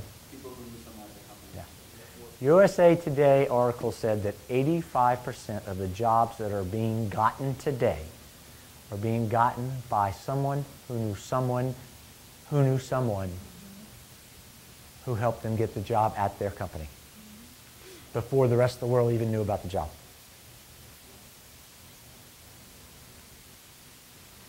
If I have 694 friends on Facebook, I should also be able, as I move through high school, start working part time, find myself in college, I should also have 678 connections on LinkedIn. Right? Okay? It's the same process. It's just a different environment. But if they don't understand that beforehand, they'll be like a lot of my friends. 28 years old, I got 1,600 friends on Facebook. I mean, it's as if they've accomplished some monumental goal in life, and they have no friends, no connections professionally, and they can't find a job. Can't. I mean, I've got the greatest friend in the world lives in California. That showed The Deadliest Catch, you've seen that? I mean, my, my friend has produced, or, I mean, she's produced all kinds of really big TV shows that you would know, and yet now here she is. She's been out of work for two and a half years. Doesn't know anybody can help her. She's got 8 billion friends on Facebook. I saw this on Facebook yesterday. You should have seen on Facebook. I said, I don't do Facebook. But she knows nobody. Her friends are not the kind of people who can assist her professionally. How we use technology is critical. Uh, what about work ethic? You, you see that as a problem today? You do? I don't, I don't understand. You know, I, I really don't know if I agree. I, I, I mean, I don't understand what the problem is and why some people get so upset when they drive into a McDonald's drive through and they get to the ordering location, they roll down the window, and over the speaker, and you know, those are good speakers. They spent a lot of money on that piece. And over the speaker, you hear something. Sometimes I'm not sure it's a human, but, but it's something. Because it sounds something like this, and maybe you can decipher. And, you know, maybe my hearing's not so great. It sounds something like this. I? What did I say? Can I help you, please? You got it. Can I help you? Uh, and so I say I'd like to have um, a Big Mac, a large order of fries, and a Diet Coke. What did I say drive through? Mm-hmm. What did they say? What did they say? Oh, there it is. 497, please drive through. And so, so I, okay, so that's great. So I drive through and I get to the next window, right? And, and there's the window, and so I've got my money. And so I, I just about get to the window. I got my window down, and all of a sudden, that little sliding door window opens up, and I'm thinking, you know, I mean, goodness gracious, I'm thinking there's going to be a face, and they're going to look at me, and they're going to smile, and they're going to say, Good afternoon, good afternoon. It's $4.96 for your order. That's what I'm thinking. But what happens? The door slides open, all of a sudden, hand comes out. Nobody says anything. So I'm thinking, high five? Right? I put the $5 bill in the hand, hand, hand goes back in, window closed.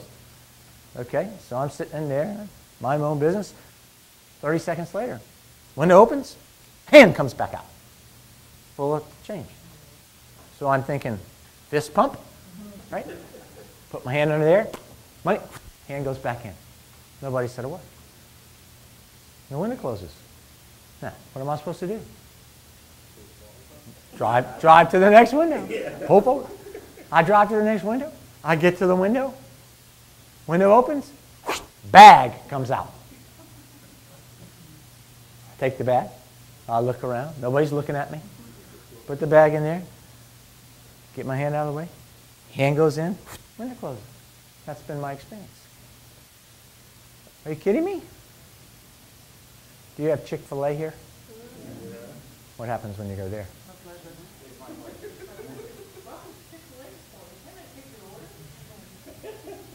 It's a great day. Great day. And they ask you for your name. Thank you. Come again. Guess how much more the starting employee makes at Chick fil A than McDonald's, Burger King, Hardee's, Arby's, or Krystal? Guess how much per hour more? Nothing. Zero.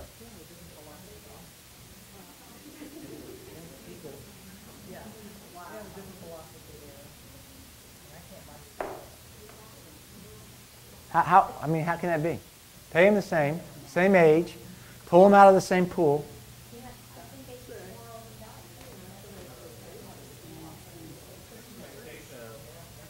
What the value, what management value. Well, McDonald's says that's the question, but I just think maybe management is now reinforcing it. So I worked at McDonald's in high school, and it was a whole process of videos you watch and everything of how you greet, and, I mean, it was a lot of stuff I had to learn. So it's just up to your manager. How many, how many of you have ever had the um, early bird special at Chick fil A on Sunday afternoon? Can't get that, can you? Why can't you get that? Why not? They're not open, why aren't they open? What?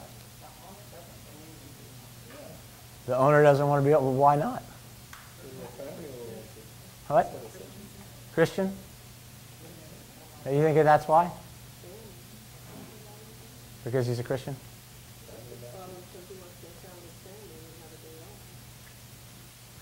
I wrote a little book one time. It was a little kid's book, a, you know, a board book.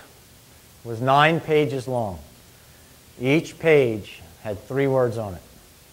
The title of the book, which is irrelevant, but the title of the book was Dear God, Thank You For. And then each page had something to be thankful for as a little kid with these really cool illustrations.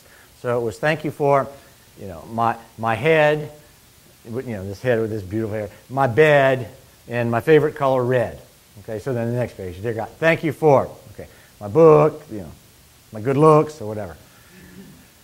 Nine pages, three words, 27 words in the whole book. So the guy that owns Chick fil A is a guy named Ch- uh, Truett Cathy, who they, they live in the Atlanta area. That's where they're based. And I never met the guy in my life. But just for fun one day, I sent a copy of that book to Truett Cathy. Never heard back. Three weeks later, I'm out in the front yard mowing the grass, pushing the lawnmower. And my assistant comes out of the little garage office that I had and says, Turn it off, turn it off. So I turn it off, and she said, It's a telephone call. I mean, I'm mowing the grass. And I said, Who is it? She said, It's Truett Cathy. I said, Oh, you mean like his office? She said, No, Mr. Cathy is on the phone. So, I mean, I am like throwing stuff down, run up the steps, grab the phone, covered in sweat and grass. Uh, Hello. And this voice says, Judd? I said, Yes, sir. He said, Truett Cathy here with Chick fil A. I'm thinking, like you need to tell me who you're with, right? okay. I said, Oh, hi, Mr. Cathy. I said, How are you? And he said, Well, Chad, I'm, I'm doing fine. He said, I'm calling to tell you, tell you how much I appreciate that book you sent to me. And I'm thinking he loves it because, you know, it was a Dear God book and he's all very, very much involved in that. And, and, and I said, Well, I'm, I'm glad you enjoy it, Mr. Cathy. And he said, Chad, you know why I enjoy that book so much? I said, No, sir. Why? He said, That's a book I can sit and read in one sitting. All 27 words. My point is this. While I had him on the phone, I said, Mr. Cathy, not, not to take too much of your time, but I'm curious. Why are you not open on Sunday? And he said, You know, most people think that we close restaurants on Sunday so people can go to church. He said, It has nothing to do with church. He said, We decided from day one that we thought those people who work so hard for us, because we only have really great people working for us, he said, we thought they all deserved to have one day a week where they could not use work as an excuse to be apart from their family. He said, it didn't have to be Sunday, could have been Tuesday. He said, but Sunday seemed like the most reasonable. So that's it. And he said, we'll never be open on Sunday. And when I wrote my financial literacy book, I decided to do a little research. And I calculated what it costs him to close every Sunday. If he tomorrow flipped the switch and decided to open his stores on Sundays, revenue would jump $250 million a year. One day, one switch, one time. But he wouldn't do it. So, anyway, the work ethic at Chick fil A is a model like no other, but it's from the top all the way down to the bottom. The guy who cleans the bathrooms and takes out the trash can look at you in the face, converse with you, speak to you, thank you for coming, just as well as the manager who at most Chick fil A's doesn't stand behind the counter back there, but walks the store, picks up trash, refills drinks, and thanks his customers for being there. Now, I, to this day, don't understand why they can do that and McDonald's can't. And I have been in thousands of McDonald's, and I also built every Chick fil A playground. And I don't understand why they're so different. So let me know when you figure it out. So I don't know. Okay, questioning skills. That doesn't seem like a big deal to an adult, to the average adult. But how many times have you been sitting with someone, having a conversation with them, and you feel like, goodness gracious, I'm about to wear myself out trying to keep this conversation going? Because this person I'm with, who I might like, can't carry it, can't do it. Question, the ability to ask questions is a skill. Is a skill. In my first book, I wrote a, a little blip on being how important it was to be interesting, how important it was to be well read, how important it was to have diverse knowledge, and critically important to be interesting. So when you're talking to people, you have something to talk about. You're interesting. When I got about halfway through my last book, most recent book, I decided that being interesting was important, but being interested was much more important. The ability to talk to people about what they want to talk about. The ability to ask questions relative to what you might like the conversation to be about is an enormous skill that serves so many people so well. And if you really watch some of these super successful people, you'd see that. You'd see their ability to meet someone and express genuine interest in that person. And when talking to that person, not talking to that person and wondering if maybe someone more important is getting ready to walk by, maybe I better get out of here so I don't miss the CEO. But literally being interested and sticking with it straight through the conversation. It is absolutely essential, but it's a skill. Something that you could work with with your students.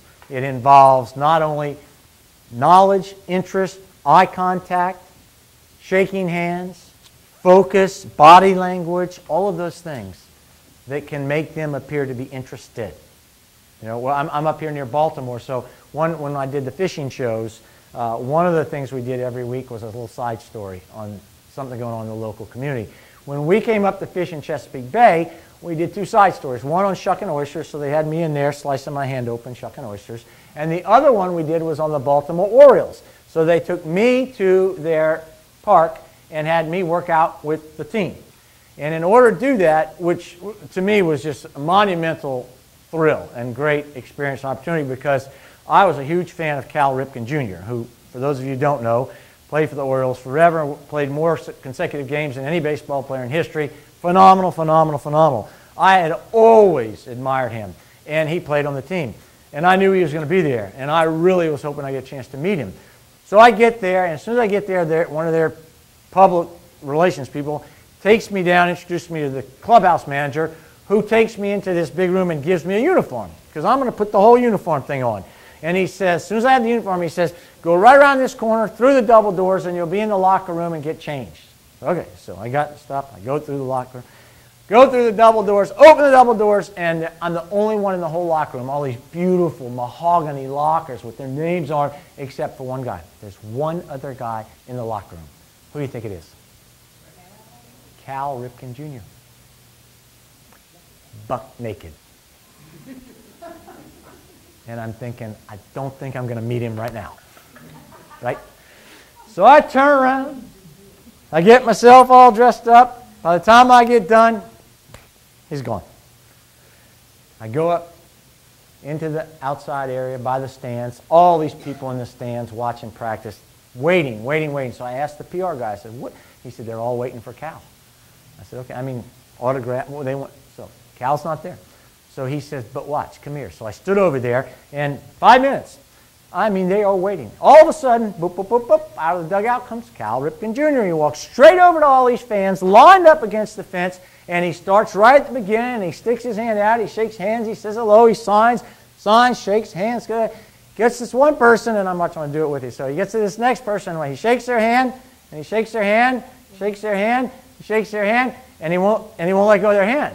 And so I'm looking at the PR guy, and I said, what, what happened? What's wrong? He said, look at the person he's shaking hands with. And I said, okay, I see him. He said, is he looking at Cal? I said, no, he's not really. He said, well, Cal's not going to let go of his hand until he looks at him right in the eyes. He said, because his father taught him that when you shake someone's hand, you look at him right in the eyes. And so Cal Ripken Jr., when anybody shakes his hand, fan, friend, whatever, until they look right in his eyes, he doesn't let go. And I mean, that thing went on for it, probably 30 seconds. He just kept shaking the hand, shaking the hand, shaking the hand. So, you know, it, it, the, the guy was probably shocked and, you know, and scared to death to look up. And, and you know, anyway. So, interested, critically important. Interesting, really good, but interested, critically important. All right, what, what do we have left here? Reading. Why? You, I don't know the answer to this, so you tell me. Why can't so many kids read? Eighth graders But they can read, but they might not un- understand what they're reading. Can't comprehend what they read. They don't enjoy reading?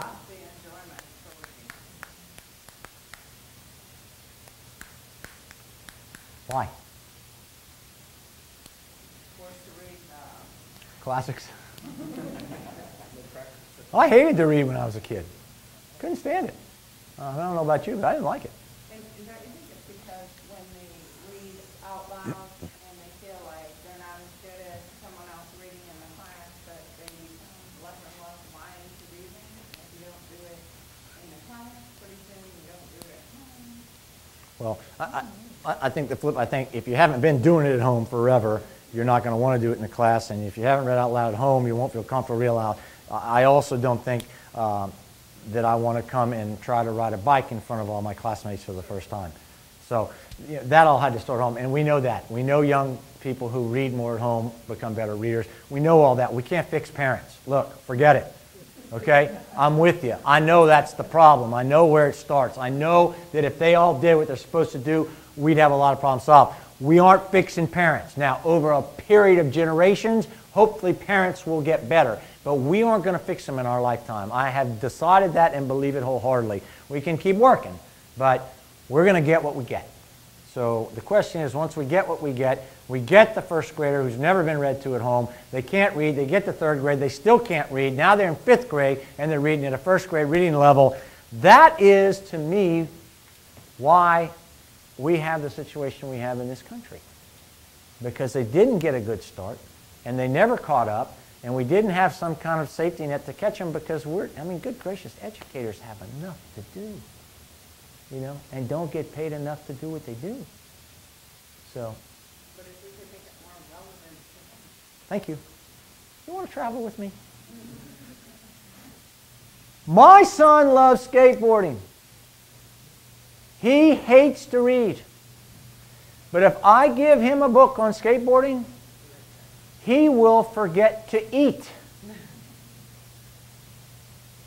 That's not rocket science. It's just not. I had an eight year old stay up the other night, three hours into the night, midnight, on a school night, because he wanted to read the Diary of a Wimpy Kid.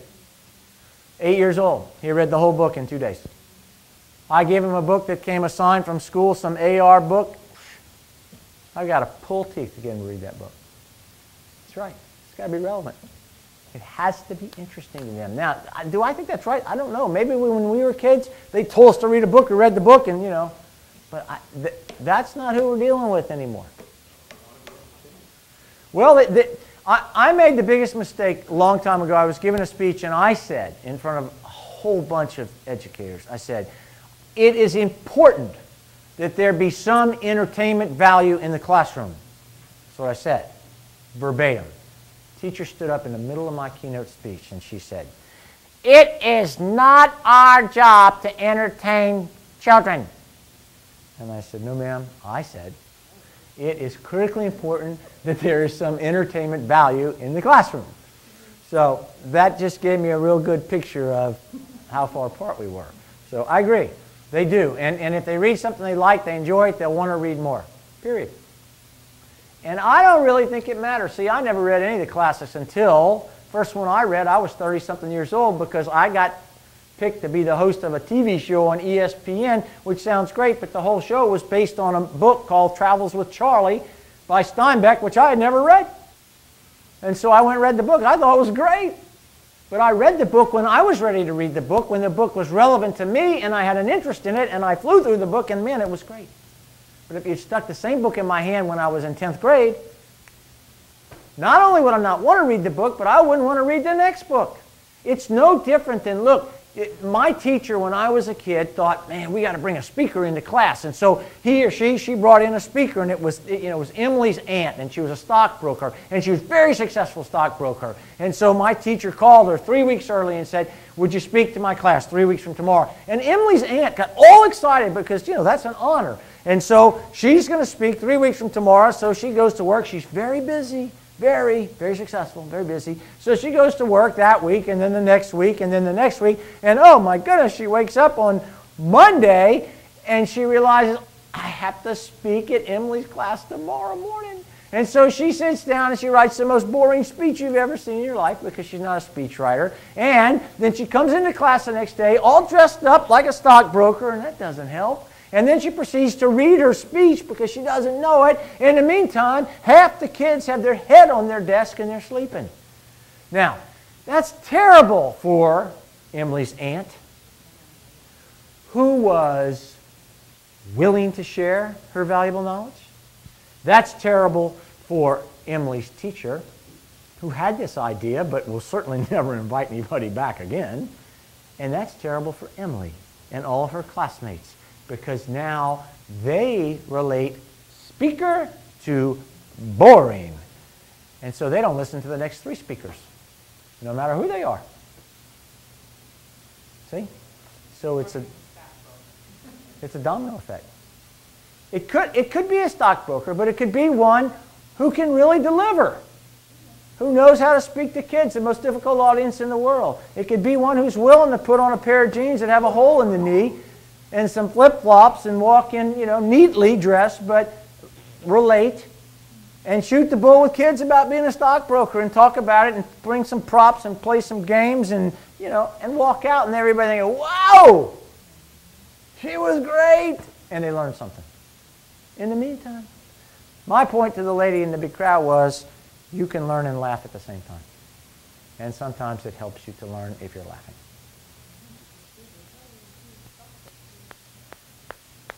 So, okay.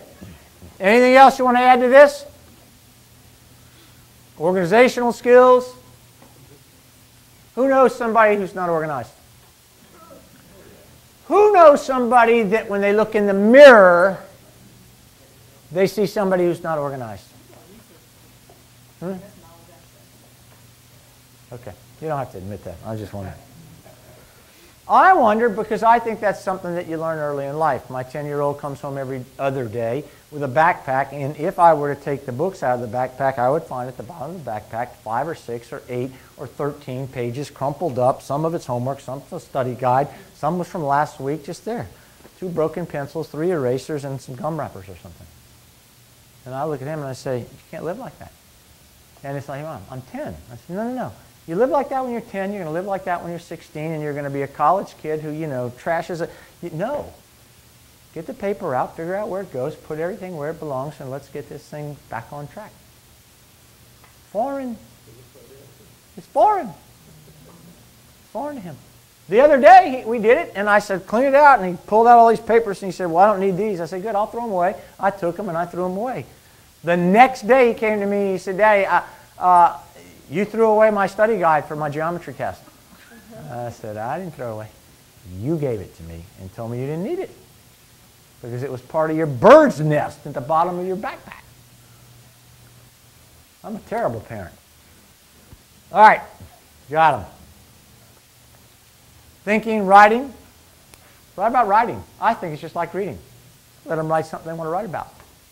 My eight-year-old spent the last three days writing about tigers. He was on the internet for hours researching tigers.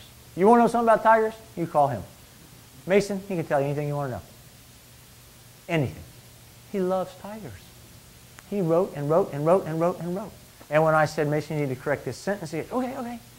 Now, if he had been writing about something that he didn't like, that bored him, Daddy, I don't have to correct that. That's it. Okay. All right. I only have one thing to add to that for all of you. We have an activity on this in a curriculum called High School 101. If I took all of you right now, put you on a bus, blindfolded you, drove down the road, stopped, I'll take all of you off the bus, blindfolded, walk you to the back of a building, still blindfolded, and you will start to hear all of this noise. I mean, unbelievable amount of noise. And all I'm going to tell you is we have just arrived at a huge playground. Okay? A huge public playground. Now, while you still have your blindfolds on, I'm going to ask you when you take off your blindfold, who do you think you will see? What's your answer? Children? Who, who do you think you'll see? Children? Adults? No, not high school. No, I say high school. I'll, I'll, I'll get more specific for you. A huge public playground for. So we're going to see children, adults, what else? Who else? Who? Who? Parents? Who else? Caregivers. Good one. All right. Good list. What are the caregivers going to be doing?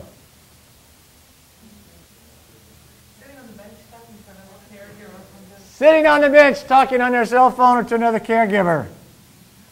Okay, I'm with you. That's good. Parents, what are they going to be doing? Not talking. And general adults, same. They could be watching. Okay. Now, what are the children going to be doing? Playing what? Tell me. Swings? Slides? Tag? Playing in the dirt. Running? Jump rope? Seesaw? Pretending? Hide and go seek? That's what they're going to be doing? Okay. And um, how about the kids? Who are they? Well, are they all white? No? No? Huh? No, generally, public playground. Think they're all white? Yeah, it's gonna be a melting pot. Probably not. Think they're all Hispanic? No. Asian? No. Native American? No. Black? No. Think they're all tall? No. Some short ones? Yes, Think they're all skinny? no, Some not so skinny? You think they're all really smart? no, You think they're all great readers? no, You think they're all Baptist? no. You don't? Think they all have curly hair? They all have brown eyes? No? They're all different. They're all different. And they're all out there doing what? Having fun? With whom? Oh, together. Together? Wait, they're black, white, Hispanic, Native American, Asian, tall, short, skinny, not so skinny, smart, not so smart, rich, poor, curly hair, and, and they're playing together? They're all unbelievably, incredibly different, and they're playing together? How can that be? Why, why, would, why would they play together if they're all so different? I mean, some of those kids live in five, 6,000 square foot houses, and some of them live in, in trailers that are falling apart. Why, why would they play together? Because they're all. They what? They don't care about what?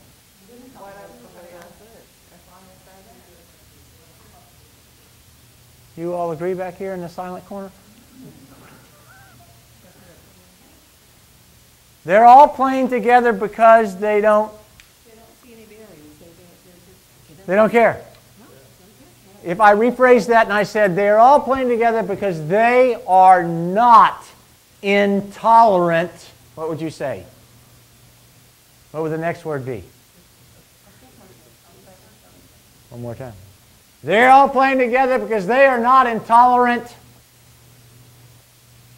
One word. Yet. Oh. Hello. Just waking you up there. Yet. Right?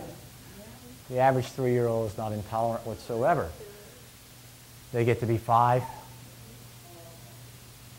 There's a little bit different picture on the playground, isn't there? At five, right? They get to be 10. All of a sudden, there's some intolerance creeping in, is there not? Right? They get to be 15.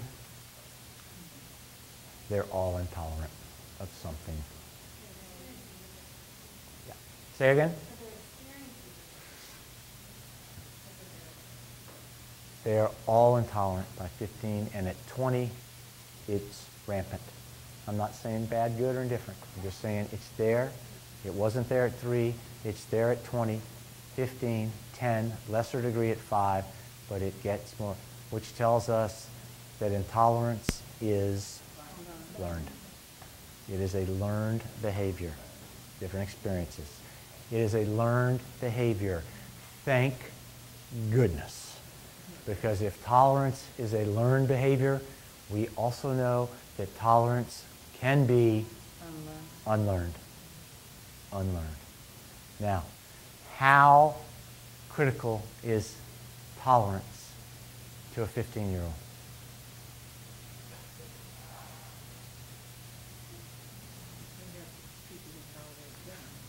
We look alike?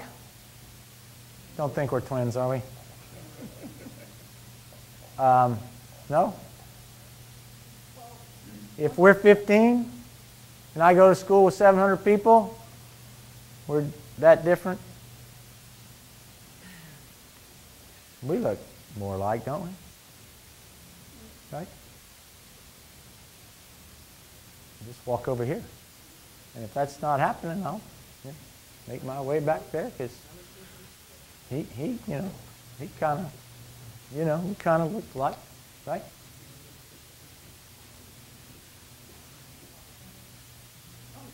At three, nobody's seeing any of that.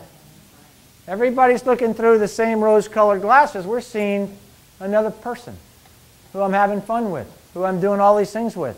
It doesn't matter to me. I'm totally, totally not focused on the differences. But when I see you I focus on those differences, eh, I, I kind of gravitate. I mean, look, I've been in, I don't know, 1,500, 2,000 high schools. If I walk into a cafeteria and it looks like a doggone Oreo cookie. I mean, it is so segregated, it looks like church on Sundays.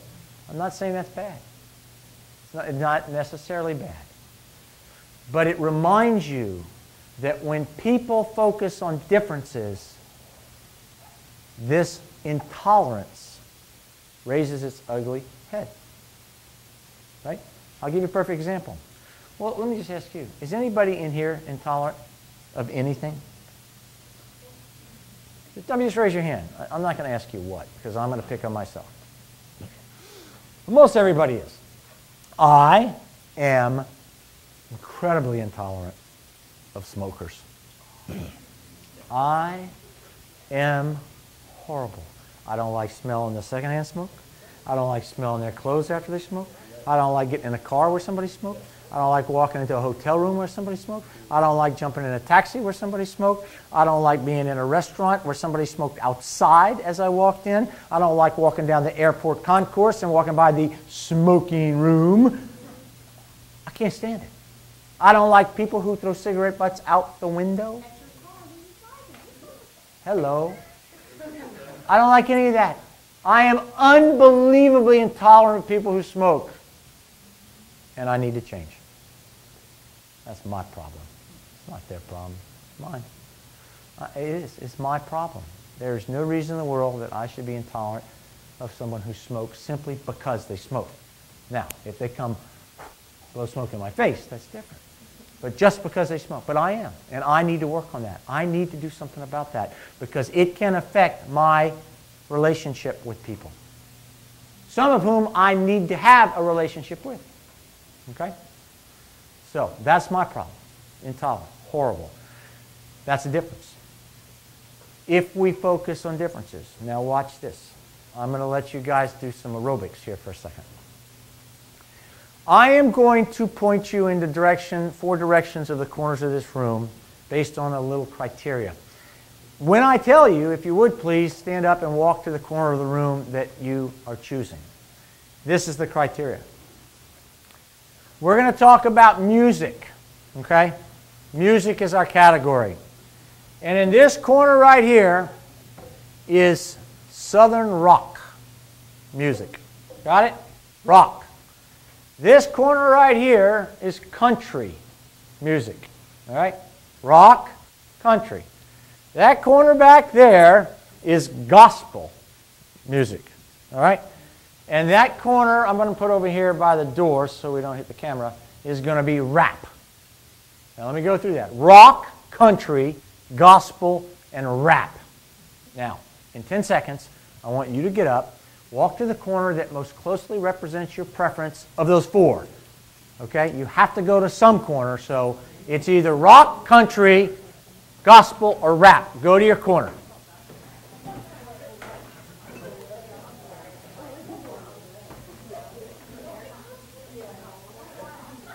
Gather up in your corner. Good.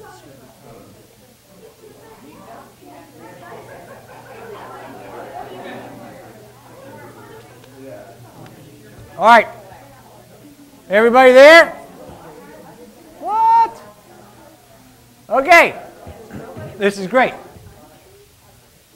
Look at the people in your corner. Take a good look. All right. See them? This is all rock. Everybody here's rock? Okay. Take a good look at them. Okay. Got them? See them? Everybody that likes rock? Okay. Go back to your seats. Quick as you can. Quick as you can.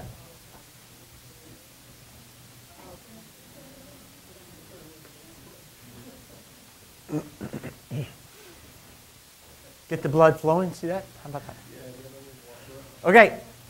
Now, new category automobile. Right here, BMW convertible. Ah, ah, ah, ah not yet.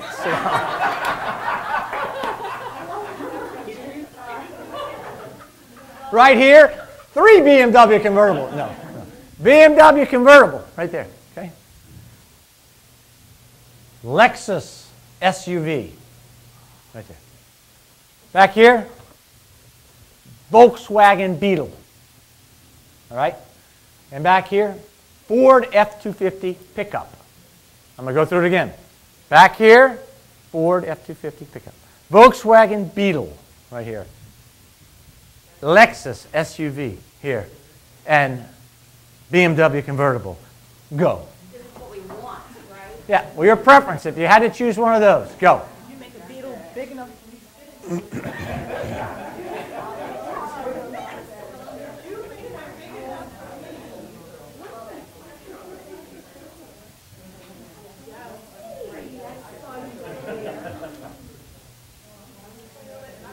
Okay, now look at the people in your corner.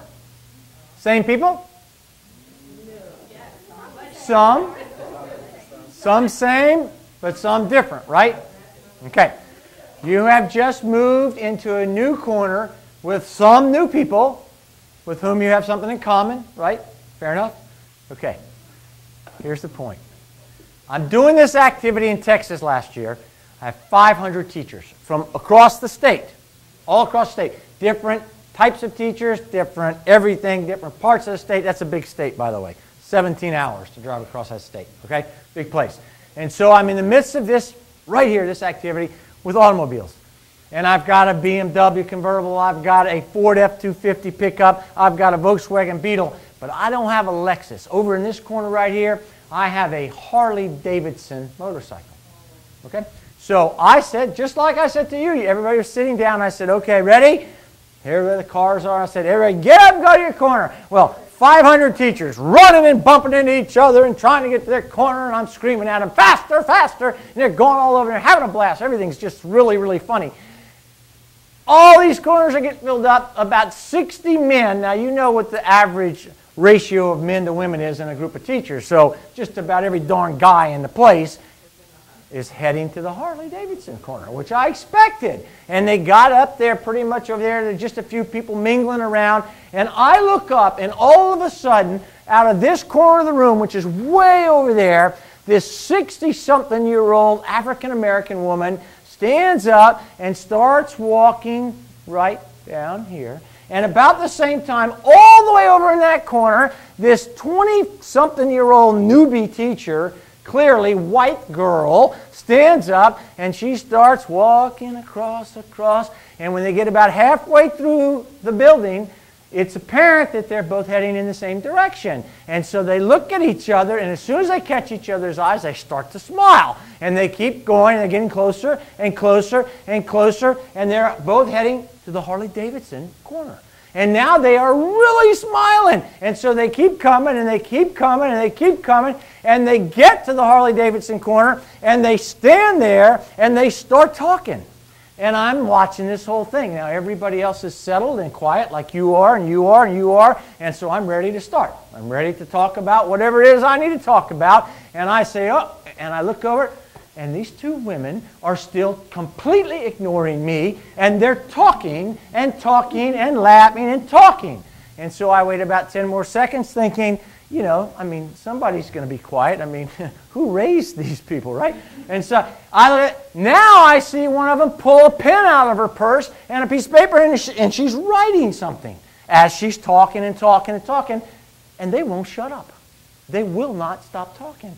So I watch her hand the card to the other girl, they're clearly exchanging some kind of information, right? And they will not shut up. And right then it hit me. Those two ladies, one was 60 something African American from West Texas, standing next to a 20 something white girl from Houston, Texas. One taught in some kind of school, the other did something else at a different school across the state. And they were exchanging information because they were going to go and ride their Harley Davidson motorcycles together. As different as they were, they didn't know each other when they walked into the room. They had no idea until they figured out that they had one similarity.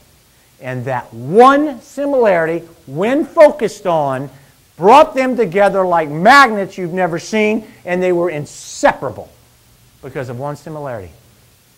And it made me remember and realize again that if we, all of us, can focus on similarities and not differences, we can break this cycle of intolerance, we can unlearn it, and we can develop relationships much more quickly, much stronger than we would otherwise.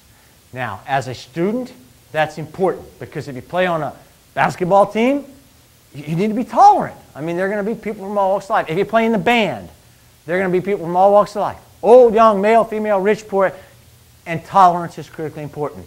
Socially, tolerance is important. If I have a friend who's not exactly like me and I'm intolerant of that, I might lose a friendship. That's all good. That's all fine and well. But if intolerance enters the workplace, it is fatal. And here's why. How many of you in this room today, the first day you walked in for your job that you currently have, you were allowed to walk in and choose your boss? Nobody. How many of you in this room today, on your first day, were allowed to walk in and choose every one of your coworkers? Nobody? Okay. How about this? How many of you, when you got your job and you came in on day one, were allowed to walk in and choose your customers, which are the students? How many of you got to choose all your students? Nobody. Nobody. And that is the case in 99.9% of jobs in America. You cannot choose your boss or supervisor. You cannot choose your coworkers. And you cannot choose your customers. Therefore, if you walk into any professional environment intolerant of anything, you will struggle. And it could be fatal. I'm a perfect example. 90% of the time that I get hired to speak, today included, I'm hired by a female. 90% of the time. There are a lot of men who are intolerant when it comes to working with females. There are a lot of women who are intolerant when it comes to working with men. But if I was in that category, if I just decided I'm no longer intolerant of smokers, now I'm intolerant of women, I'd be out of business. I would be broke. I'd be done. One simple intolerance, unless I focus on the similarities. So, professionally, you need to be thinking about your students. What is your student going to say if they get their first job and they get placed in this cubicle, and in this cubicle, their cubicle mate is gay? What are they going to say? How are they going to handle that? Or what if they come to work here and right next to them, they're going to work next to a Muslim? What are they going to say? What, what, if they, what if they go to work and the first customer that they call on that gets into their car hasn't bathed in two weeks? But it's their customer. What are they going to do? What are they going to do? See? My four, fourth grader walks into a classroom and has a teacher who's deaf. What if, he, what if he's intolerant of disability?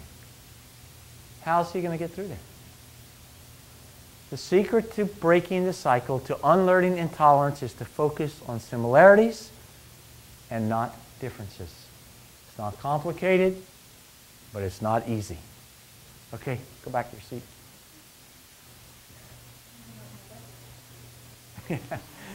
she says, I want to hang out with my new Lexus friends. Good for you.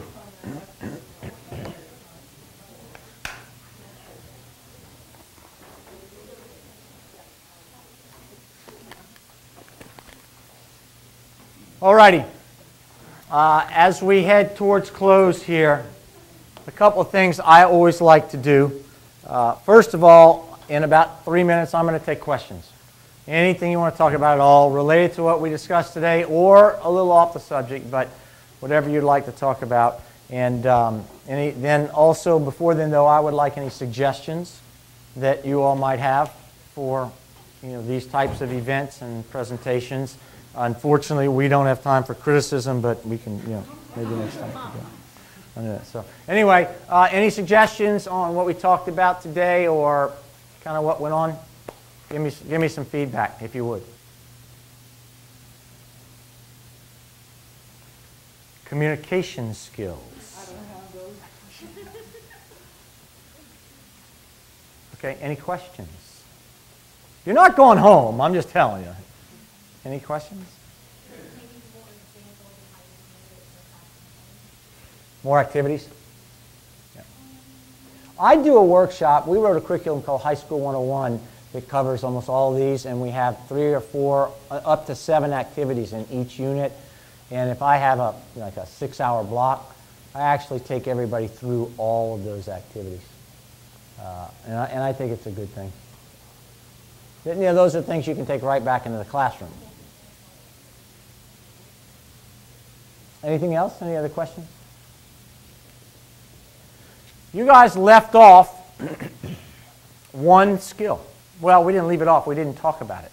And that was the financial literacy. Uh, I mean, you heard, if you're in today, you heard that, but the financial literacy situation is, is horrible. And it- now requiring graduation in, is that in Virginia or Maryland? in right here. Right here, oh, yeah. It is in about 13 states a requirement now. But whatever you can do to incorporate it, it's just, just so important. And you know, it's interesting, what we're finding across the country is that it has nothing to do with socioeconomics. I mean, you know, there are families making $400,000 a year that are broke at the end of every year, and there are families making 30000 that have saved 5000 So it's, uh, there's no rhyme or reason, but, but that is definitely a skill that young people are not learning at home. And here's why. If I'm 15 or 16, I live in a household, and the combined income of my two parents is $50,000, and we have a TV on the wall that costs $2,500, and there's a car in the driveway that's financed for six years that costs $40,000, when it's my turn to make a choice, what do you think I'm going to do? Yeah, it, it- you can't blame me. That, I mean, that, you can't. So letting them understand, helping them understand the difference between needs and wants. Not dictating, but difference between be aware of. Because I said it the other day, I was in a school and, I don't know, 800 kids came in, 600 of them had on blue jeans. And so after they all got seated, I said, if you're wearing a pair of blue jeans right now, stand up. 600 stood up. I said, if you're wearing a pair of blue jeans right now and those blue jeans have a hole in them, stay up. If not, sit down. 300 kids stayed up. And I said, okay. If you're wearing a pair of blue jeans right now that has a hole in it, and that hole was in those jeans the day you bought them, stay up. If not, sit down. 50 kids stayed up. And so I looked at the group and I said, is there something wrong with these people? I mean, are they bad people? No, not bad people. They just thought they needed a hole in their jeans the day they bought them. Right? And most of them paid a premium for the hole. When in fact they just wanted a hole in their jeans. And so I tell that story, and, and then a couple of people look at me and say, oh, gee, Chris, we're just talking about blue jeans here. And I always say, you're right, we're just talking about blue jeans today. But in three years, that same kid who thinks they need a hole in their jeans the day they buy them, that same kid is going to have to buy a vehicle. And they're going to either have to decide that they need a car or they just want the car. They need transportation, and there's a $13,000 Toyota that is four years old that works. They want that $40,000 SUV that their best friend's dad has. So what do they buy? And that's just a car, so I guess that's really not that big a deal. But five years later, it's going to be a house. Yeah, it's going to be a house. They need a place to live. They need a couple of bedrooms and maybe two baths, but they want a 3,500 square foot house that costs $300,000 and has four bedrooms and three baths and a swimming pool because somebody they know has one. So, what decision do they make? Hole in the jeans, brand new SUV, 3,500 square foot house. That is how we got into the mess we're in. And the instant potato generation, those microwaves that got it right now, you have a credit card, you don't have layaways anymore, you don't work for a thing, you don't save your money, you just, just buy. Now, now, now. Yeah. I, I str- I struggle with this most of my career, and, well, I think in the more affluent areas, it is, it is a value system issue. And, and it, and it, um, I'm a school counselor, for everybody who doesn't know. So when I'm talking to parents about the child's grade and where the teacher's there, and it, co- it comes down to a value issue. What does the parent value, and what do they then, um, give the child? And it, it is a struggle. It, that, that's part of why we have some of the policies we have today, where it's a value thing. Maybe value, value skills, Yeah. I don't know. You know what's interesting to me is I really think it crosses all socioeconomic lines. I mean, I'll, I'll just go ahead and fess up. I, I married a doctor. And when I got married, my doctor wife brought $10,000 of credit card debt into our family. I mean, how can that be? How? So it's not, it's not just certain people. It's, it's people who never learn. You use a credit card, you pay it off at the end of the month. Period. And you only buy things you need. Period. I mean, that's why there's a period at the end. okay, anything else? All right, well, thank you all for coming. Enjoyed it. God bless.